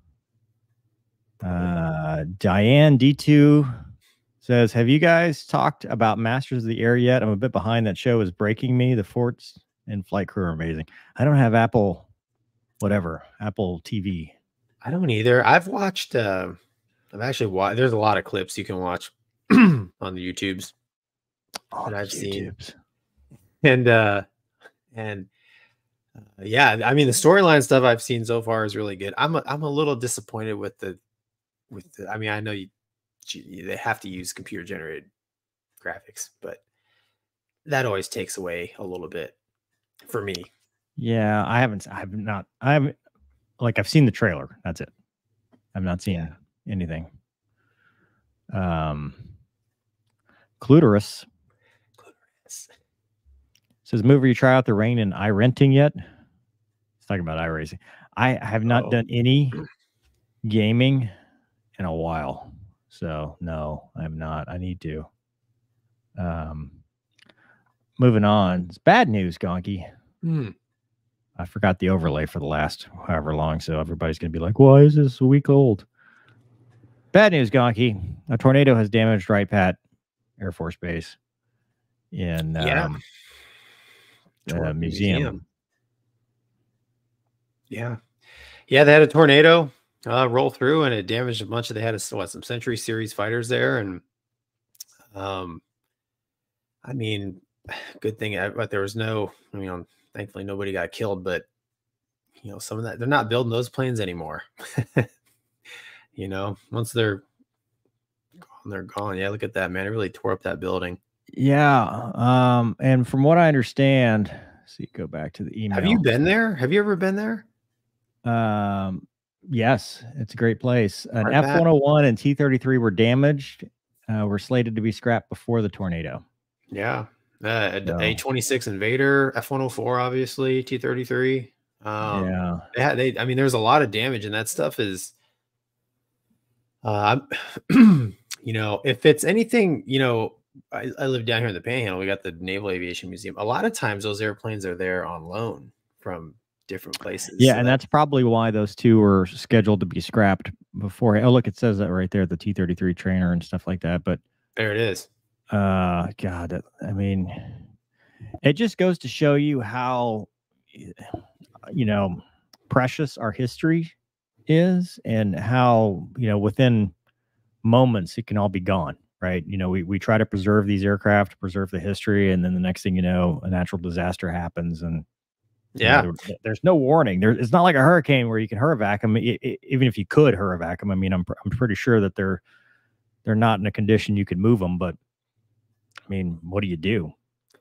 I've, I mean, you do your best, right? I mean, I uh, remember a couple years ago at the Corvette Museum, the National Corvette. Oh, they- the sink- sinkhole. the sinkhole, the man. it, sinkhole. like- I went there after. Doug and I went there after. Remember that, Doug? Yeah, they wouldn't let us go down in the sinkhole. is it still there? Uh, I want to say that, that there's a floor over it, and but they have cars that were in it that they pulled out and left in in their state that they were in, in the sinkhole. It's pretty awful. Yeah. yeah i I mean it's you know a- anytime i mean it, you know anytime like you know if uh you know paintings or any kind of artwork i mean I, I i mean these were warplanes but i mean they're they're you know they're engineering art right at the time they were like cutting edge and it's just uh it's sad to see any kind of uh The history. Yeah. artifacts from the past really uh be destroyed because you know then you know then like i can't take my kid there to see it right and seeing it on tv is one thing but actually seeing it in person and being able to you know get up close and look at it and like look in the cockpit and be like man people got in these things you know Well, it, it's like the SR 71. Like you don't Yeah. realize the size it's smaller than you think. And you look at it and you're like, people got in this thing? Like the Yeah. cockpit is so cramped, especially in the the- back. and the airplane is massive Yeah, but like you look at it and you're like, okay, it's this big airplane and then the small tiny cockpit, and you're like, wow, dude, this, this thing, uh, you know, oh wow. Yep. And then the space shuttle, like I went to the museum at Dulles at the airport uh, when I went to a school last year, and the space shuttle shuttle's massive. I mean, the, the, the is, co- the cockpit no, just the airplane oh the yeah yeah, actual yeah. shuttle. You know, it's in this this open area. They wouldn't let you into the cockpit, but you know, the you just don't. You're right. You don't get that sense of it's not real unless you can touch it, kind of thing. You know, and and, Yeah. and see it up close. And this is our heritage, but it's also. I mean, how many museums did you go to as a kid? This is what inspires the next generation. yeah You yeah know, and I mean, air shows and preserves the history. museums Yeah. yeah yeah i don't know man i mean hopefully you know uh hopefully they can rebuild you know some of the you know if they can repair Yeah. the ones they can repair but the, you know it's always a, a lot and uh, you know a lot of like the you know a lot of the warbirds you see flying it's a lot of it's volunteer Yeah. right it's not really funded right so and uh and it, it becomes a, a, a cost issue unfortunately and sometimes it's like we just can't we just have the money to bring this thing back Well, that reminds me of the uh, AN two twenty five, the Oh, yeah. Uh, one it was what if not the last one, one of the last ones. yeah i got And up uh, yeah, and the airstrike took it out, or the the base attack, and so Microsoft Flight Sim made a module, and the funds from that module are going to try to rebuild this thing eventually. Whether it happens or not, I don't know. Wow. But that's you're talking about the money piece. Like there are creative ways they're trying to do it. Now, granted, this is a one of a one of like, you know, two. Yeah. I mean, there are not many. Um, did you did you see the video of it? That thing is tore. I mean, that thing is tore up. Yeah, but that versus the T thirty three, which they're still Yeah. civilian T thirty threes flying around. You know, they're Yeah. still F one hundreds and F one hundred one. Like some things are you. The only way to get it back is to refurbish it, and some things are like, well, there's other ones that maybe can be donated. Like if a T thirty eight's in the museum, you can get another one. In fact, they're still flying. You know, but if it's something more rare like an SR seventy one or yeah. a space XB shuttle, seventy, right? yeah. or- Yeah. Or, or, yeah. I mean, that's a good point. You know, some of these original, They made like, like, one actual or two. historic, right? And it was this is the one that was used on this date. Yeah. Like to me, it's not just the airplane, but it's the story behind it. Oh, you- 100 percent. You you get to 100%. see kind of what they did. So um, You go to the museum here in Pensacola, and it's like uh, uh, right next to the, you know, hey, this is a whatever a P forty Warhawk, and then it's like, you know, this airplane was involved in the Battle of Umpty Fre- and you like, you know, as a as a as a kid, man, you can just it. I mean, as even as an adult, it blows my mind. yeah. You know? Yeah, because you can just you, you picture it. You picture that story. You picture kind of what that pilot must have gone through it. And yeah, I have more of an appreciation for it now than I did when I was a kid. Hundred Right? percent. When I was a too. kid, it's just oh buttons, you know, flip the switch and all that stuff. But then now, having done it, you're like, I can, I, I, can picture it. Yeah, when I was a kid, I was like, oh, just like in Bye Black Sheep, you know. I was like, you know, but now I realize there's actual a lot of horror and you know Yeah. bad stuff going on. But yeah, you're right, man. I, yeah, it's sad. Yeah. All right, uh, Gonky. Yes, sir. Tenth anniversary of Yeah. Malaysian uh, Airlines 370. Yeah, I think March 8th. Uh, and uh, we did a little thing a while back about this. And, you know, I, I was there. My in laws uh, were on a flight out of Penang the same night that this 777 took off out of Penang. So the next day was a little hairy for a couple of minutes for us when we saw that uh, a airliner had disappeared. So basically, they haven't got much uh, you know, the families haven't had much in the way of closure, right? Because it's still kind of, well, it's a mystery. Um, there's some new technologies available, Ocean Infinity and stuff that, like, you know, hey, maybe we found it here, you know, using some new techniques. So there's talk of reviving the uh, the search for it. I read somewhere where I like uh, they spent something like 170 million dollars looking for it, and That's then they, insane. yeah, then they That's finally insane.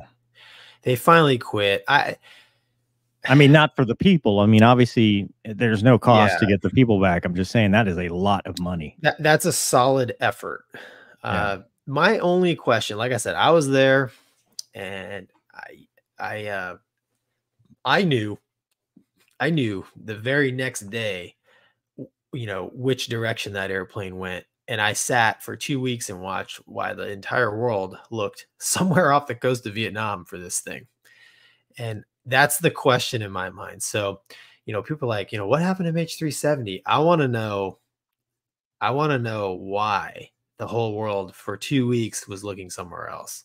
And who, like, who is the point person that caused that. I, I, you know, some people, oh, it's the Malaysian government and their incompetence. I, I disagree.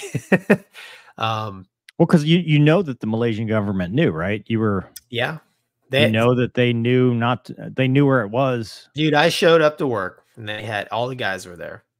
All the jets had three tanks on them, and I'm like, "Whoa, what's going on?" And they're like, "Oh man, we went out and looked for MH370." I'm like, "You went to Vietnam?" you know? They're like, "Nah, man, we went, you know, the other way." And I was like, "Why?" you know, because I'd watched the news. I'm like, Yeah. I'm like, you got the compass backwards? What's going on? And uh yeah, I mean, you know, I I I don't know. Like I said, that's the question in my mind. So for like literally two weeks, I'm watching the news. They're like, oh, we're looking off the coast of Vietnam, and it this is the flight path it took. I'm like, oh no, no, it didn't. so there's uh I mean, I'm. What and there was there, there's discrepancies. You know, they, they did uh about what six months ago they did a uh they did a, a special. I can't remember who did it uh, on MH370, and it was basically you know conspiracy theorists. Well, uh, well, hold on. You got a chat for conspiracy theories. Uh, Eric says MH370 condolences to the families of those involved. The jet was brought down by a Thales Starstreak system of Malaysia and blamed on a UFO abduction. I don't think so, man. I don't. uh, There, there were, uh, there, there were a lot. There were discrepancies, and the fact that uh, they were s- smoke screening that airplane's actual flight path for two weeks tells me that there was, in my mind, man. If I like, I, I, I think there was some criminal, crazy stuff going on. I think that airplane landed somewhere. It either landed in the water, uh, like on purpose, uh, for some reason, or it landed somewhere and it you know, got drugged into a hangar. That's my own. Oh, you think they're still? uh, It could be dude, still there. mover. That's a I- lot of how, people. How do you lose? Yeah, but okay. So I get it. The, the Marines can lose an F thirty five. I get it. But how do you? right? But but but okay. So anytime it's like it's like the whole 9-11 and i'm so glad this is on your channel it's like the whole 9-11 uh conspiracy theories right it's it's like at some point you have to go okay how did so many people if if this is a conspiracy and this is this scale how do so many people stay quiet like how do you because remember some of the 9-11 conspiracies are the same thing right that they landed and it was a cruise missile and it really wasn't a jet and they landed somewhere and and, and all that stuff so uh, how would you keep that many people quiet after 10 years Money. I don't know. 239 people And- Mover, I'm not. Look, dude. I don't. I don't have all the answers. All all I know is when I was there, like I was literally bouncing my head off the wall. You know, because like, oh, the world is looking for MH. I'm like, you're looking the wrong freaking area, dude. You know. So they weren't looking at. I mean, so you're the Hornets when you when they said they were looking. Where were they looking? They went west. So they went to the correct place. So at Yes. least. So it's not that they weren't looking; it's that they weren't telling the world where they were looking. Yeah, for whatever reason, that information is not shared, dude. And I'll I'll tell you, like, uh, you're not gonna sit here and tell me the Singaporeans didn't watch what was going on. You're not gonna say, you know what I'm saying? Like, there's Yeah. just, you know, I, I don't know everyone's capabilities, uh, and I, this is a little bit of speculation, but as a guy flying tactical jets in that area, um, and you know, having an idea of their their capabilities and military capabilities in general. Um, and what I saw with my own eyes, uh, I I asked the question, who and why uh, did did the smokescreen exist as far as like, hey, everybody look over here for a while? Why? I don't know. Have you seen this document? John says the Netflix time documentary MH370 plane that disappeared does talk about internal government cover up. Yeah, and I, you know, I uh, is the Malaysian government involved? Maybe I don't know, but I don't think, I, you know, it's my own opinion. I don't, I don't think it was, uh, I don't think it was all them, or I don't even really think that they had a whole lot to do with it. But that's just, dude, that's just gonky. I'm just, you know, this is all just jokes and um, good times, and I'm just telling you what I saw. You know, Yeah, don't, don't yeah, no, okay. yeah. I'm mentally This show- stable, perfectly This is- happy. This is not a news channel. No, This is This is this is a ready room. Yeah, ready room environment. purposes only. You're good, but Uh, mover, put hey, put yourself in my shoes, man. You come to work, right? You saw, you see, you, drink your coffee in the morning. You're like, oh my gosh, that thing went over there and disappeared. Then you go to work, and the very, you know, all the jets are like long range set up, and you're like, why did, what the hell's Oh going no, on? dude. I, I I'm not. Look, I I just don't think it's aliens. That's that's Oh, what I'm gonna be reasonably confident because you have seen that video with uh, where they're like, we've got a high res satellite video of these little things and it disappears. And I'm like, that's the stupidest, fakest thing. How'd you get access to a classified satellite? yeah, yeah, yeah. You know, the, the sad thing is, is Well, Yeah. the, the sad part, man, is like no matter what, I unfortunately I do believe, you know, I, I think those people are gone. That's the sad part. So, um, and really at the end of the day, you know, after answering the question, you know, why and who authorized the whole look over here, you know, there needs to be closure for the Well, families, man. So I guess it could it be because Gonky, you know how incompetent government can be at any level. How many times have you had mixed messaging where you know one the right hand's not talking to the left hand? So I mean, could it just be as as simple as you know the military knew to go look this way, the civilian authorities had this theory, nobody's two- talking. Not for two weeks, man. Yeah. And the other thing is, is like, you know, in the, being in the U.S., we have uh, a lot more resources and a lot more just pe- personnel, dude. You know, in uh, these in in in Malaysia, Singapore, you know that whole region, you know they, you know, like the Hornet Squadron has that they they had eight airplanes, period. right. So everything is much smaller. So I, it's so hard for me. Yes. Uh, incompetent things happen there just like they do in the states but uh, i just it to me it's just uh something planned uh very well planned and coordinated in my mind had to happen and i i don't know if like a rogue triple seven captain could just pull this off but i could be wrong i dude i i could be Yeah. completely wrong but who knows Well- i mean we're gonna find out i i'm, I'm a firm believer we? we? will find it's out It's like the yeah. Amelia Earhart thing eventually. yeah you're right Eventually. Eventually. Well, we dude, we have uh, we have Twitter now, so we're gonna find out. it's called X, Gonky. What? Sorry, It's called X. sorry. Uh, all right, to the chat. Uh, Vulcan says, "Hey, mover, our power utility company is looking for helicopter pilots to fly linemen and do line inspections. Would you be interested? Is it in St. Tammany Parish in part time? That would be the question, because I don't need a job. Like I'm not. We're we're talking military jobs mostly. Um, there are a couple civilian jobs, but we're mostly talking military jobs when we're talking about this stuff. And even military jobs, we're we're not we're just I, yeah. Elias says, long story short, I'm in Pensacola thanks to you two and Mace and company. Thanks, Deuterino. Solid content advice. hey, hell awesome, yeah. man. That's awesome. Hell yeah. Congratulations. Uh, and he might means for flight training, I'm assuming, not just Yeah. on vacation. Yeah. Hey, it's a great place to live. It is a vacation. yeah, he's he's outside your window, donkey. Uh, Auburn alum says that's wise. Auburn alum says, uh, "My son is an aspiring aviator. His desire is to be a pilot, that supports those on the ground, and save lives. What branch is focused on this for best for their mission? Navy, Marines. Marines, Coast Guard. I, I'm going to throw down and say all of them except the Coast Guard yeah. Um. because every uh, um, uh, uh, standard Wait. answer it depends. It depends on the conflict, but go Well, ahead. Dude, he says save lives, right? And let's be honest, man. The coasties are saving lives, wartime, peacetime. You're you're right. I, I skipped over the uh the saves lives part. So you're right. It for saving lives, I would be an Air Force PJ. Like uh fly the Oh. the pararescue helicopters. Out of uh, Patrick. Patrick. Mhm. Or yeah. Tucson.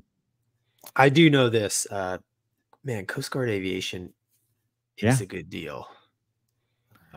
Yeah. Like there's like there's some really uh it's been a while because my um my cousin was looking into it and they have some really good like from college to flight school pay for college make money they have some really good lead-in programs to Mhm. their to aviation i mean it's worth looking into the coast guard uh they go to the same you know, have gold wings just like you know naval aviators and uh you know marine aviators they go to the same training that you know the navy guys and marine guys do so they get you know they get the military training um, but their organization in, in general is uh, you know they don't they're they are mainly rescue and uh, Yeah. it's it's that's probably where i would go I, I I think you can't go wrong any of these. Like Air Force, Navy, like there's no right answer because in in some way Yeah. Every piece of aviation is a support asset to something on the ground. Yeah. Hundred percent. Like you're not you're not the like even the not a pound for air to ground folks. They're Zamboni drivers. Once the picture's clear, the real players get to work. Everybody Yeah. is a support asset for somebody else, and that somebody else is the 18 year old with a rifle eventually that has to hold the ground because Yeah. otherwise, you know, might as well just throw some tomahawks at stuff and Yeah. You got to. I mean, if you're in a real conflict, you got to own the real estate. Yeah. Uh, janitor is back. Says the shuttle display in California is now full stack with boosters and external tank. Also saw the shuttle land in White Sands in 1982. Wow. Nice. MJ uh, A says, "Do we really want the proliferation of the F-35? The world already has an obesity problem." Cluterus. I love it. Uh, what's the bigger conspiracy, 9/11 or the moon landing? I think as far as believable conspiracies, uh, I think they're both dumb as far as conspiracy theories go. But Don't ask. Uh, who was it that punched the dude in the face?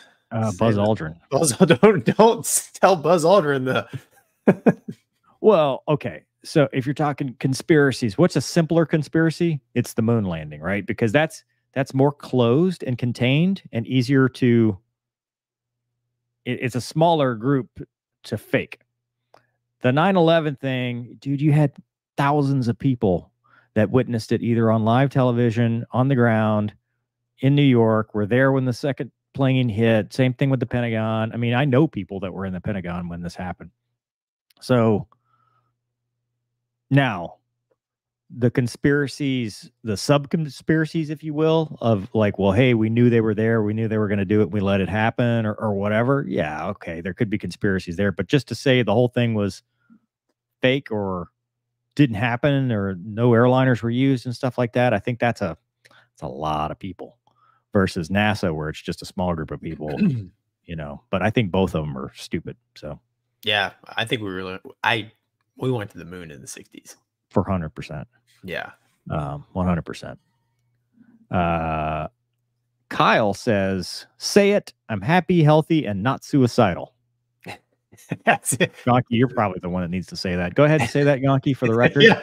I am happy, healthy, and definitely not suicidal. Yeah. I love my life.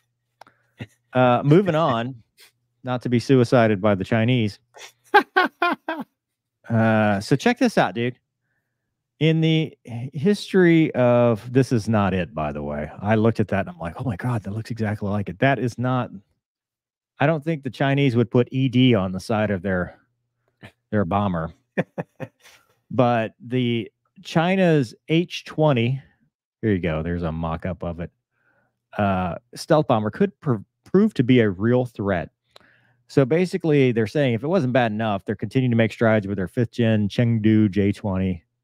Uh, and then they obviously use that against the intimidation exercises against Taiwan because that's their big thing. But there's a concept of how the H20 is expected to look. So this is all pretty much media speculation, but it hints that it could be um, very similar to the B2. And, and where they saw it was that what appeared to be a silvery metallic wind tunnel test model that bears a close resemblance to the Northrop Grumman B2 Spirit, uh, which also kind of looks like the B 21. Given China's penchant for copycatting or outright stealing U.S. military technology, it's not. Uh, I mean, it's not out of the realm of possibility, according to this article. Uh, Alex Hollings from Sandbox News points out that it does indeed literally and figuratively get off the ground. That it'll turn, uh, in turn, will entail the first publicly disclosed non-American stealth bomber ever to fly. Could usher in a new era of strategic air power. And then they try to, uh, the Chinese Daily declared that the Air Force does need an intercontinental strategic bomber capable of penetrating an enemy's air defense, that the new design would be required to carry 10 tons of bombs, 4,970 miles. And I didn't do the math, but what do you think is 4,970 miles away from China? Just Yeah. saying. Yeah. Um, Not kilometers, miles. no, my I I wait. I didn't read the the the commie units. The institute set many national records, including uh, so the ZAC, uh, Xi'an Aircraft Industrial Corporation, named for its host city, is widely understood to be the prime contractor, and um, they've done the KJ 2000 and the JH7. And uh, this says it creates urgency for the B21, and right now the B21 seems to be within budget. So it's a lot of media speculation right now and I wanted to talk about just kind of the implications of them having a stealth bomber. But if they're just doing wind tunnel testing, they're they're still trying to figure things out, right? They've got a little way. model. They know what the B2 looks like. They kind of know what the B21 looks like because we've, I mean, it, they've been flying around publicly. And so they're doing their own testing to see kind of how it works and what the best design is going to be and and how they move forward. Does that mean it's far off? I don't know because they may or are probably not as constricted with the, the the contracting woes that we are. They probably don't have that problem when everything's state run. Uh, and they have a very robust espionage program where they can cut corners and kind of borrow some stuff here and there. But the tactical or strategic implications of them having a stealth bomber, it's I mean, it's significant. If they do, if they do end up producing this thing and it can go, you know, almost five thousand miles, you know, does it change postures? Does it change kind of kind of what we're worried about? Yeah, you know, I I really don't see. You know, I I really would don't see you know China trying to like attack mainland U.S. But dude, if it has five thousand mile range, it could certainly reach out and slow down any kind of task force that's coming to defend, say, Taiwan, right?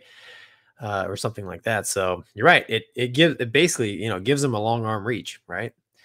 But I think this thing is years out if it ever actually comes to you know fruition at all. Could be wrong. but I mean, and I mean, they have a habit of kind of, you know, not kind of, but copying stuff. So, uh, I don't know, man. We'll see. I, it might even look like a B2 or B21, but it may not have, you know, and it probably won't have nearly the capability. So just some back of the napkin math here. That range would get you to Hawaii. Yeah.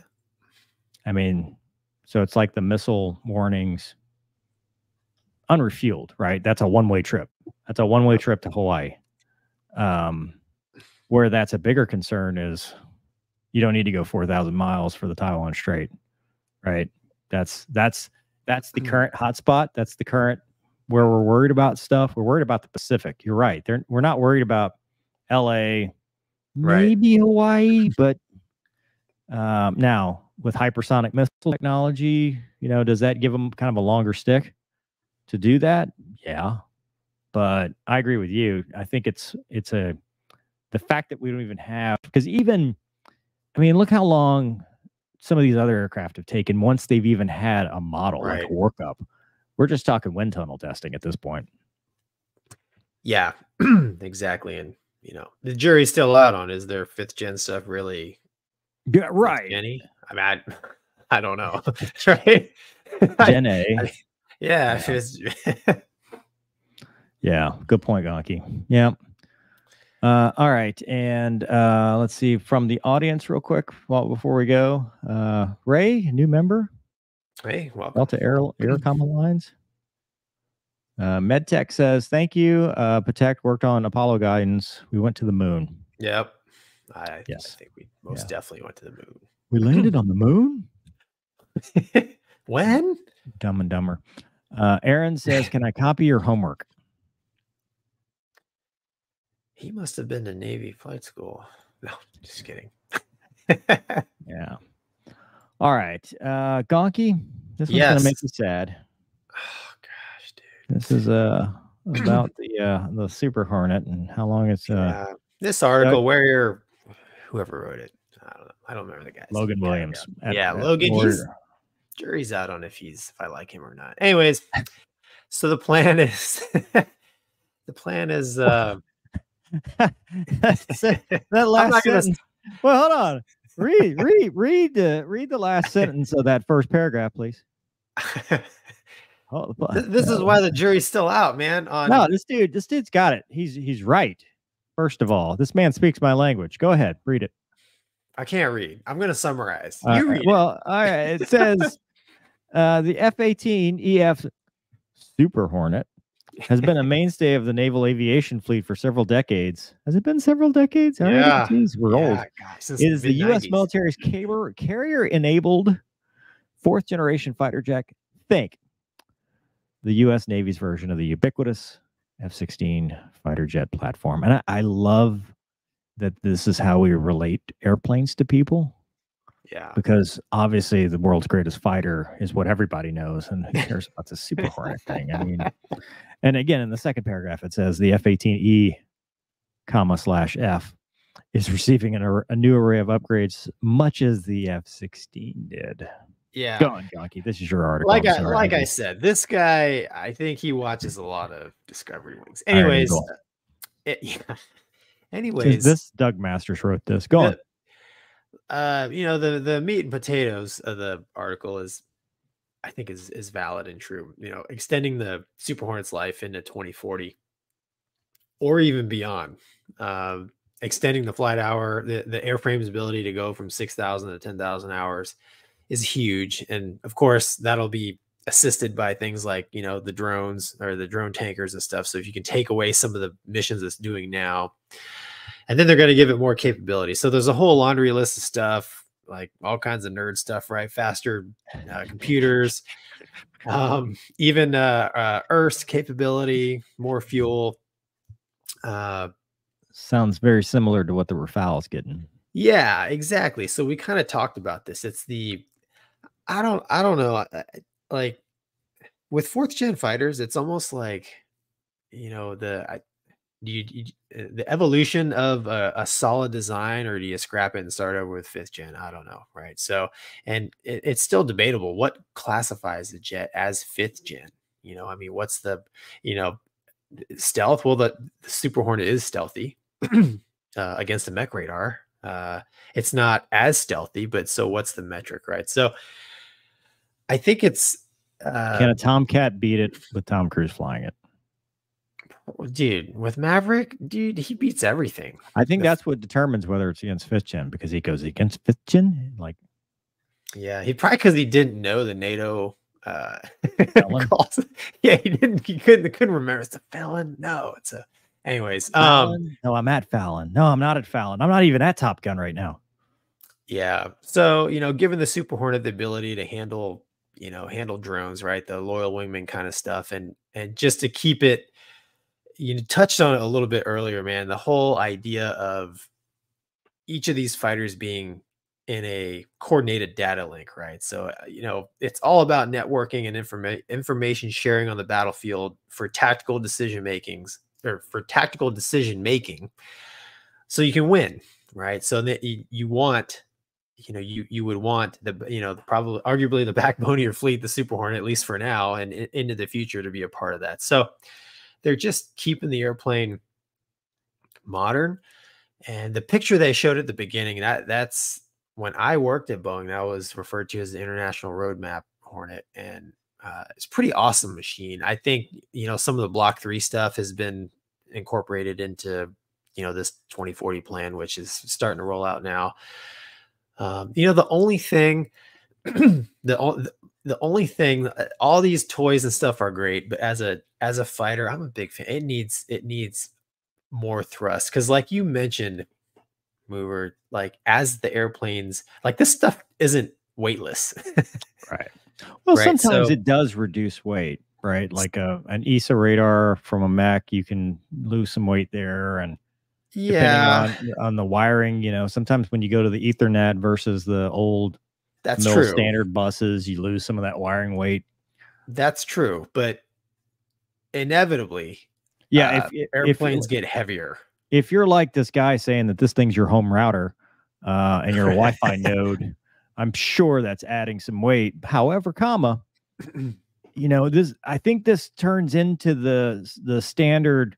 What's the next conflict going to look like? And it's it's digital and it's information. And having this being the network node, you're getting the loyal wingman, you're getting all the intelligence, you're getting battlefield awareness. Now, at what point is too much information? Do you have too much information and it just bogs you down because you can't process it all? Yeah, and then I, you know, then there's, you know, there's the argument from knuckle draggers like me that that technology is that's all that's so all these uh the network, the data, all that stuff, it's all defeatable. I mean, it's that's that's my beef with it. You know, you can you can Yeah. spend a lot of money and training on developing an entire battle plan based off, you know, uh, information being fed to you. But if that's cut off, and and it doesn't even have to be cut off completely, if it's partial bits, right? I mean, I- like, um, you know, at the end of the day, uh, you know, it's as we found out in Vietnam, and I know that was a long time ago, but uh, you know, BVR was the plan with the F4, and that didn't pan out. And even in you know Gulf War '91, you know, a lot of that stuff was, if it wasn't like pure BFM, it was definitely inside of ranges that I mean, like uh, you know, that we would de- we would want to be at uh, in in modern fighters today. You know, I mean, I I just when you weigh the rules of engagement with uh you know jamming ea technology all that stuff man i just I, I i just see some of the uh technology piece falling out. And then that's when it's important to have you know the super hornet has a lot of capability but if you can't get that airplane up high enough fast enough sometimes uh you know shot ranges and stuff like that are going to suffer, right? You want a high performance airplane, is what I'm saying. And it is a high performance airplane, no doubt about it. But if you start adding a bunch of weight to it, uh, I think I think a little more power would be. Yeah. Okay. That's just my own opinion because I like power too. I like lots of thrust. Oh yeah.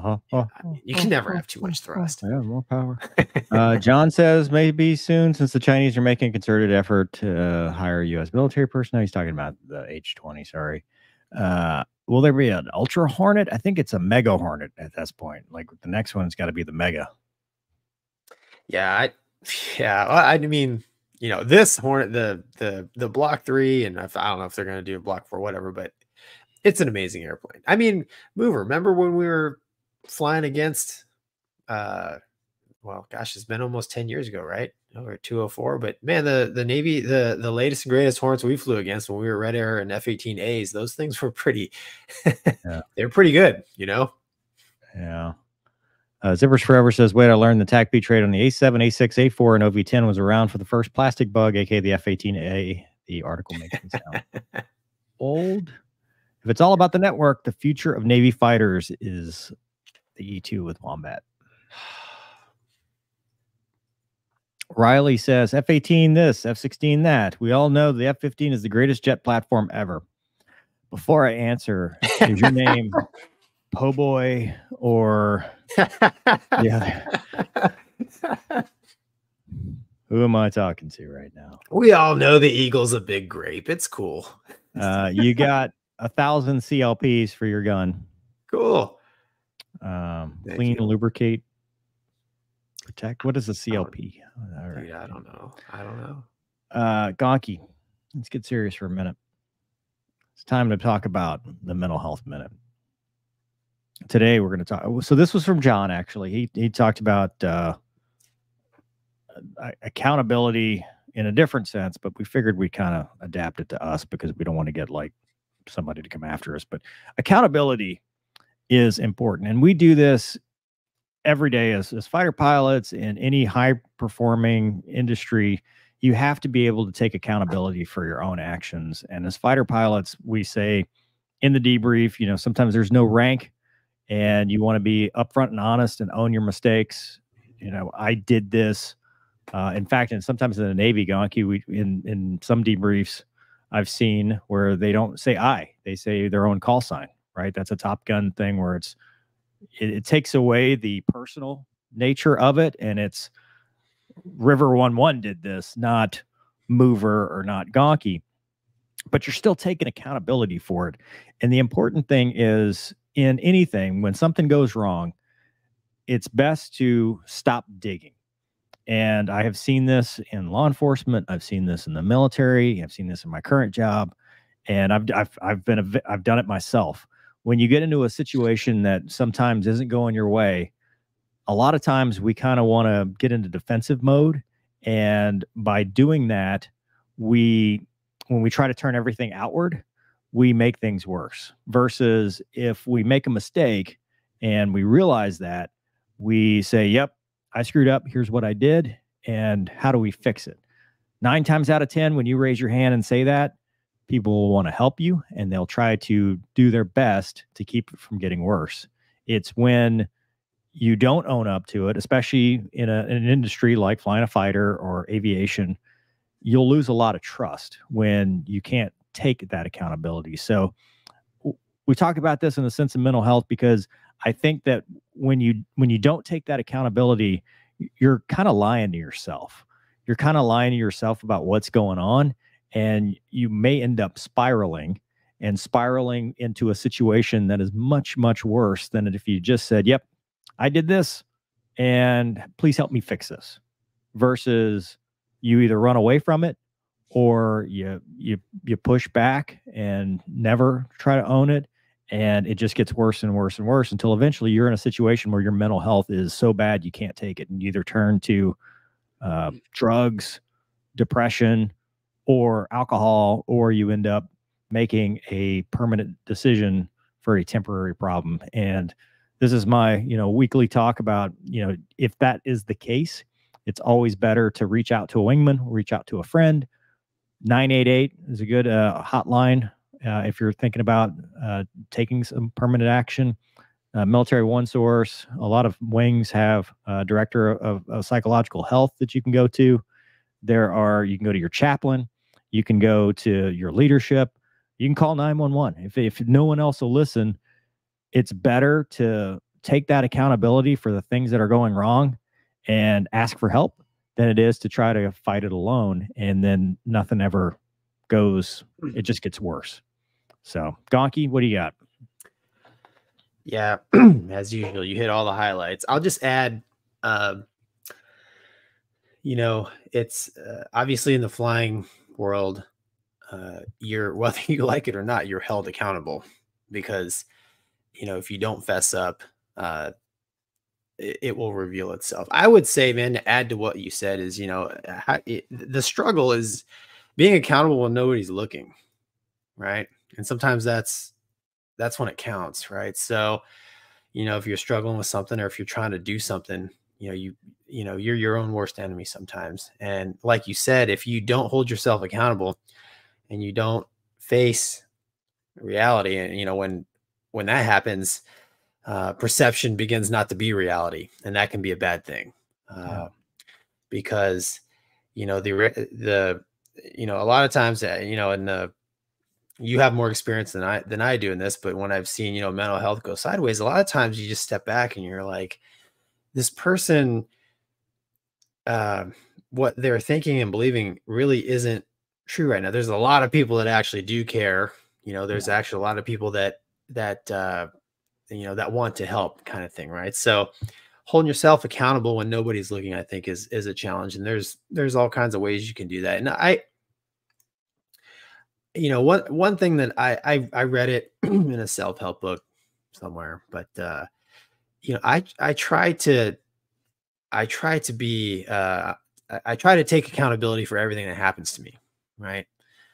Uh, and how I react to that, and I think uh, what that has allowed me to do is um, you know, get in front of problems. And a lot of times, you know, like, you talked about, you know, running away from stuff. So A lot of times that's not the right thing to do. And I'm not here to say that I get in front of problems and, you know, divide and conquer. That's not usually what happens. But it's just the just the exercise and the uh, just the the acknowledgement of hey, the you know, the uh, somebody needs to be accountable and it might as well be me and a lot of times this stuff is uh, with with family stuff and whatnot but yeah man uh, being accountable and to yourself when nobody's looking i think is probably about the only thing i can add to what you said you pretty much covered it doug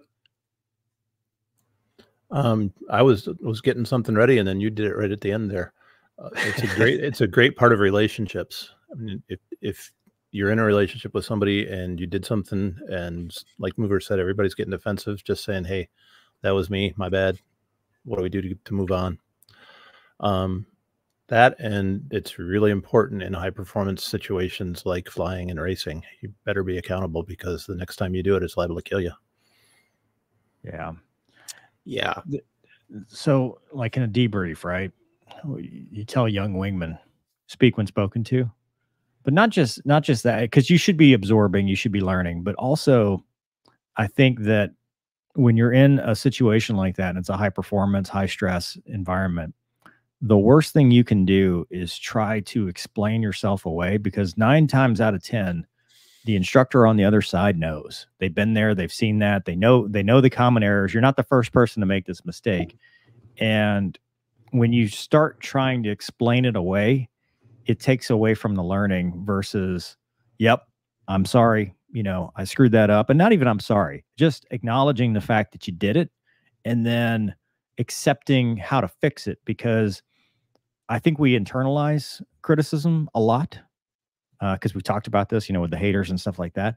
But when it's actual valid criticism, the the idea is not to attack you as a person; it's to fix something to make you better. And as soon as you realize that that the whole point of any of that is to make you better, then you you you look for it, you seek it out, you start going, "Hey, what can I do here? What can I do there?" it teaches you to be humble as well. You know, yeah. I mean, if you, I, maybe maturity is not the right word, but if you have the maturity enough to be able to, you know, uh, accept, you know, the responsibility or, you know, take on the accountability of what has happened. Right. So, yeah. And on a less serious, but still serious note, I, I forgot to, uh, you and I talked about this this weekend, Gonky. I made fun of you using the wrong word and I'm sorry. Which time? On, on the last Which time? Minute. So I, I called. So we had this Marine in my squadron when I was in pilot training that would call everybody a mongoloid. And for whatever reason, I was searching for the word to call you for somebody who doesn't use technology. Well, apparently that's a luddite, right, Doug? That's that's the word I'm looking for. That's definitely a luddite. Yeah. Yeah. mongoloid is like luddite, luddite is definitely better than the other word. Yeah. So hmm. I, I, said that. I shouldn't have said it. I didn't. I am a knuckle you know, dragger. right, but that's mongoloid's more like a. It's not the right word. So I apologize because uh, I know you know. I mean, I don't obviously don't ever want to make fun of real people with special needs, but I've got my brother's got special needs, so it's it's definitely something I'm sensitive to. But um, I meant to call you a luddite and he bully he bullies me in real life. Uh, well, sometimes it just you start rambling now, this was on the mental health minute a while back, and nobody said anything. Like nobody called me out for it. So I apologize because I didn't realize it until I was watching. I'm like, does that sound right? And then I Googled it. I'm like, oh no, no, that doesn't, that's not the word. that is not what I was looking for. So uh, anyway, back to the serious part. Some people from the chat have actually said some some things. Uh, Midnightly says people who take accountability seriously not only elevate themselves with their honesty and open disclosure or discourse, disclosure. They raise everyone around them, and people want to work with them. Be that person. Yeah, you don't want to be with the other one, the opposite of that. Kyle says, starting with no excuse allowed us to then break down the tabletop and learn 31 years with Dallas Fire, 100%. And that works in law enforcement. Yep. Any any high stress, high performance job. Yeah. I mean, you can't trust somebody if if right if they're not willing to own it. You know, if yeah. If, if, there's always an excuse and there's always a but I was thinking or but this happened, it's like no man, just yeah, hundred percent of the time the guys I've like if you ever flew with anybody that just nothing was ever their fault, you know, I, it's, like oh my gosh, man, you're gonna have to be on your toes. Yeah. Uh, John says, by placing a mirror to your actions, help with trust and confidence from colleagues and those you may lead. Be honest to yourself first, and it's okay to say it's completely my fault. Right, and and that doesn't mean you have to go to the extreme, right? And and oh, it's my fault. I'm so sorry. Oh, it's my fault. I'm so sorry. It's it's there's a there's a balance. There's the accountability for things you realize that need to be fixed and you know sometimes you're not wrong you know sometimes you you did do the right thing and you do need to speak up and say, "Hey, this is what actually happened," or "This was my perception of it." You know, I always had a flight lead that said, "Hey, ask the cool questions. Don't don't make statements. You know, just like, hey, but is this right?" And oh yeah, oh, my bad, you're right. Because sometimes that's true too, right, Gonky? I mean, Yeah. You know, we're not infallible on either side of the table. No, no, no. I make I make all the mistakes. Kyle says, uh, "May I show forward operators group, a 501c3 Discord mostly dedicated to unaliving prevention." Hell yeah! How do you do? Do you just look up forward operators group? Yeah, Do that. Yeah, hundred percent. MJ. MJA says super important. If you don't own your mistakes, you won't learn and you won't move on. Owning up doesn't equal punishing yourself. It means acknowledging dumping the baggage that w- other would otherwise accrue, learning and moving on with a stronger compass. Yeah. Yeah, and that is it for the relevant comments. Uh, I think any reattacks on the mental health part. I almost yeah. shot off one of my fingers one time. If I didn't take accountability, I would have a lot less fingers. Yes, I know the Don't- finger goose. D- d- don't do that. Yeah, don't don't do It was 100% my mistake. Uh, hey man, you Yeah, owned it good. Um, uh, back to the CLP. Uh, Seba gave you CLP a thousand.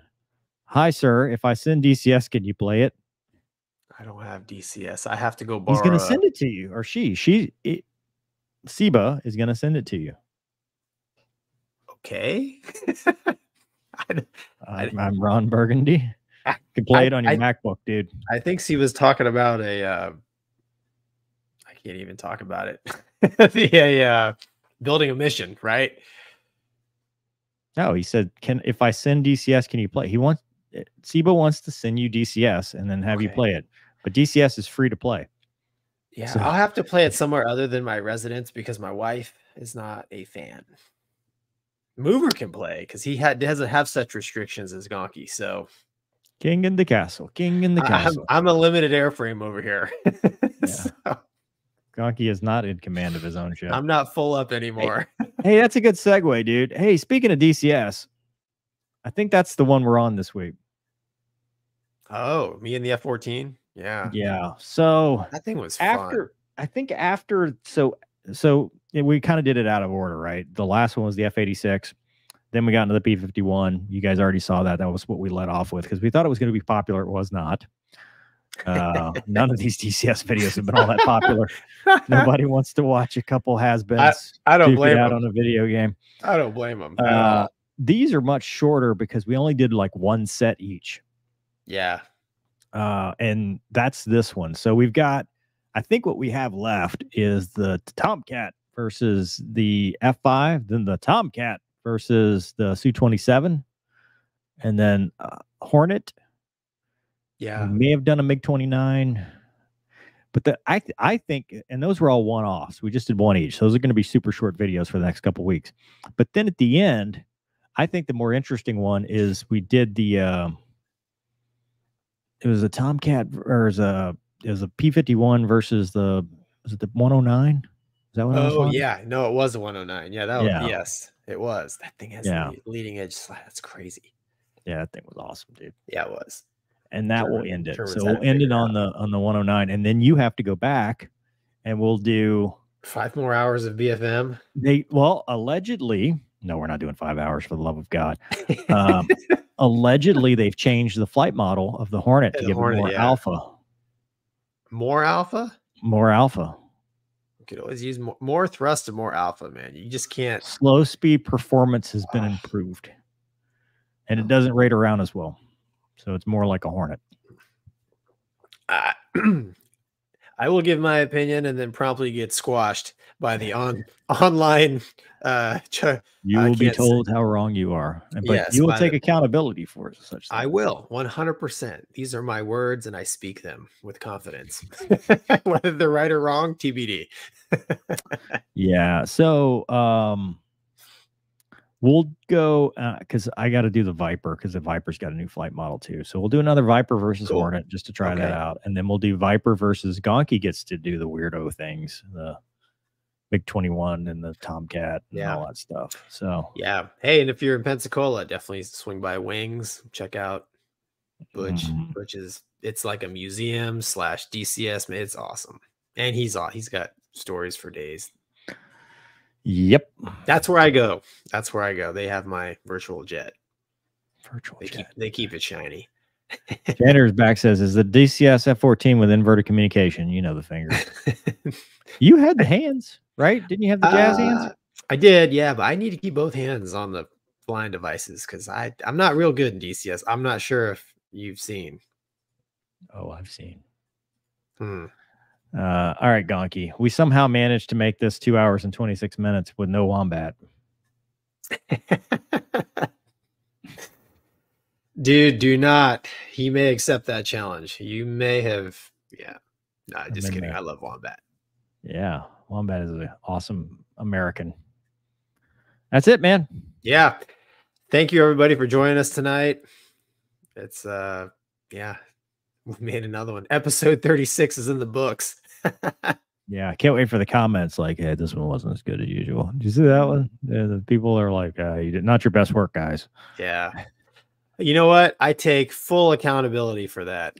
Uh, no, Mover and I, Mover and I have been working literally. I would say our best work is behind us. Jake says, "Here's ten bucks, Gonky." Oh, thanks, Jake. Yeah, Yeah. I would say, We worked all weekend, man, doing real work. yeah. I mean, plus the beard's gone. It's gonna take me a whole month to get it back to where it was last time, Yeah. and but then I'm gonna have to. Yeah. Uh, actually, I might have a two month beard because I'm, I'm um Oh, you driving going race to cars? Daytona. Yeah, so I'll be driving race cars. Uh. I'm gonna have to disapprove that. I'm gonna have the Duck Dynasty beard by the end of the. It's gonna be. Yep, gonna be great. I'm gonna borrow right. your office. Douglas, anything? Thanks as always. I have nothing further. All All right. right. Well, night, thanks everybody. everybody. Appreciate it. See ya.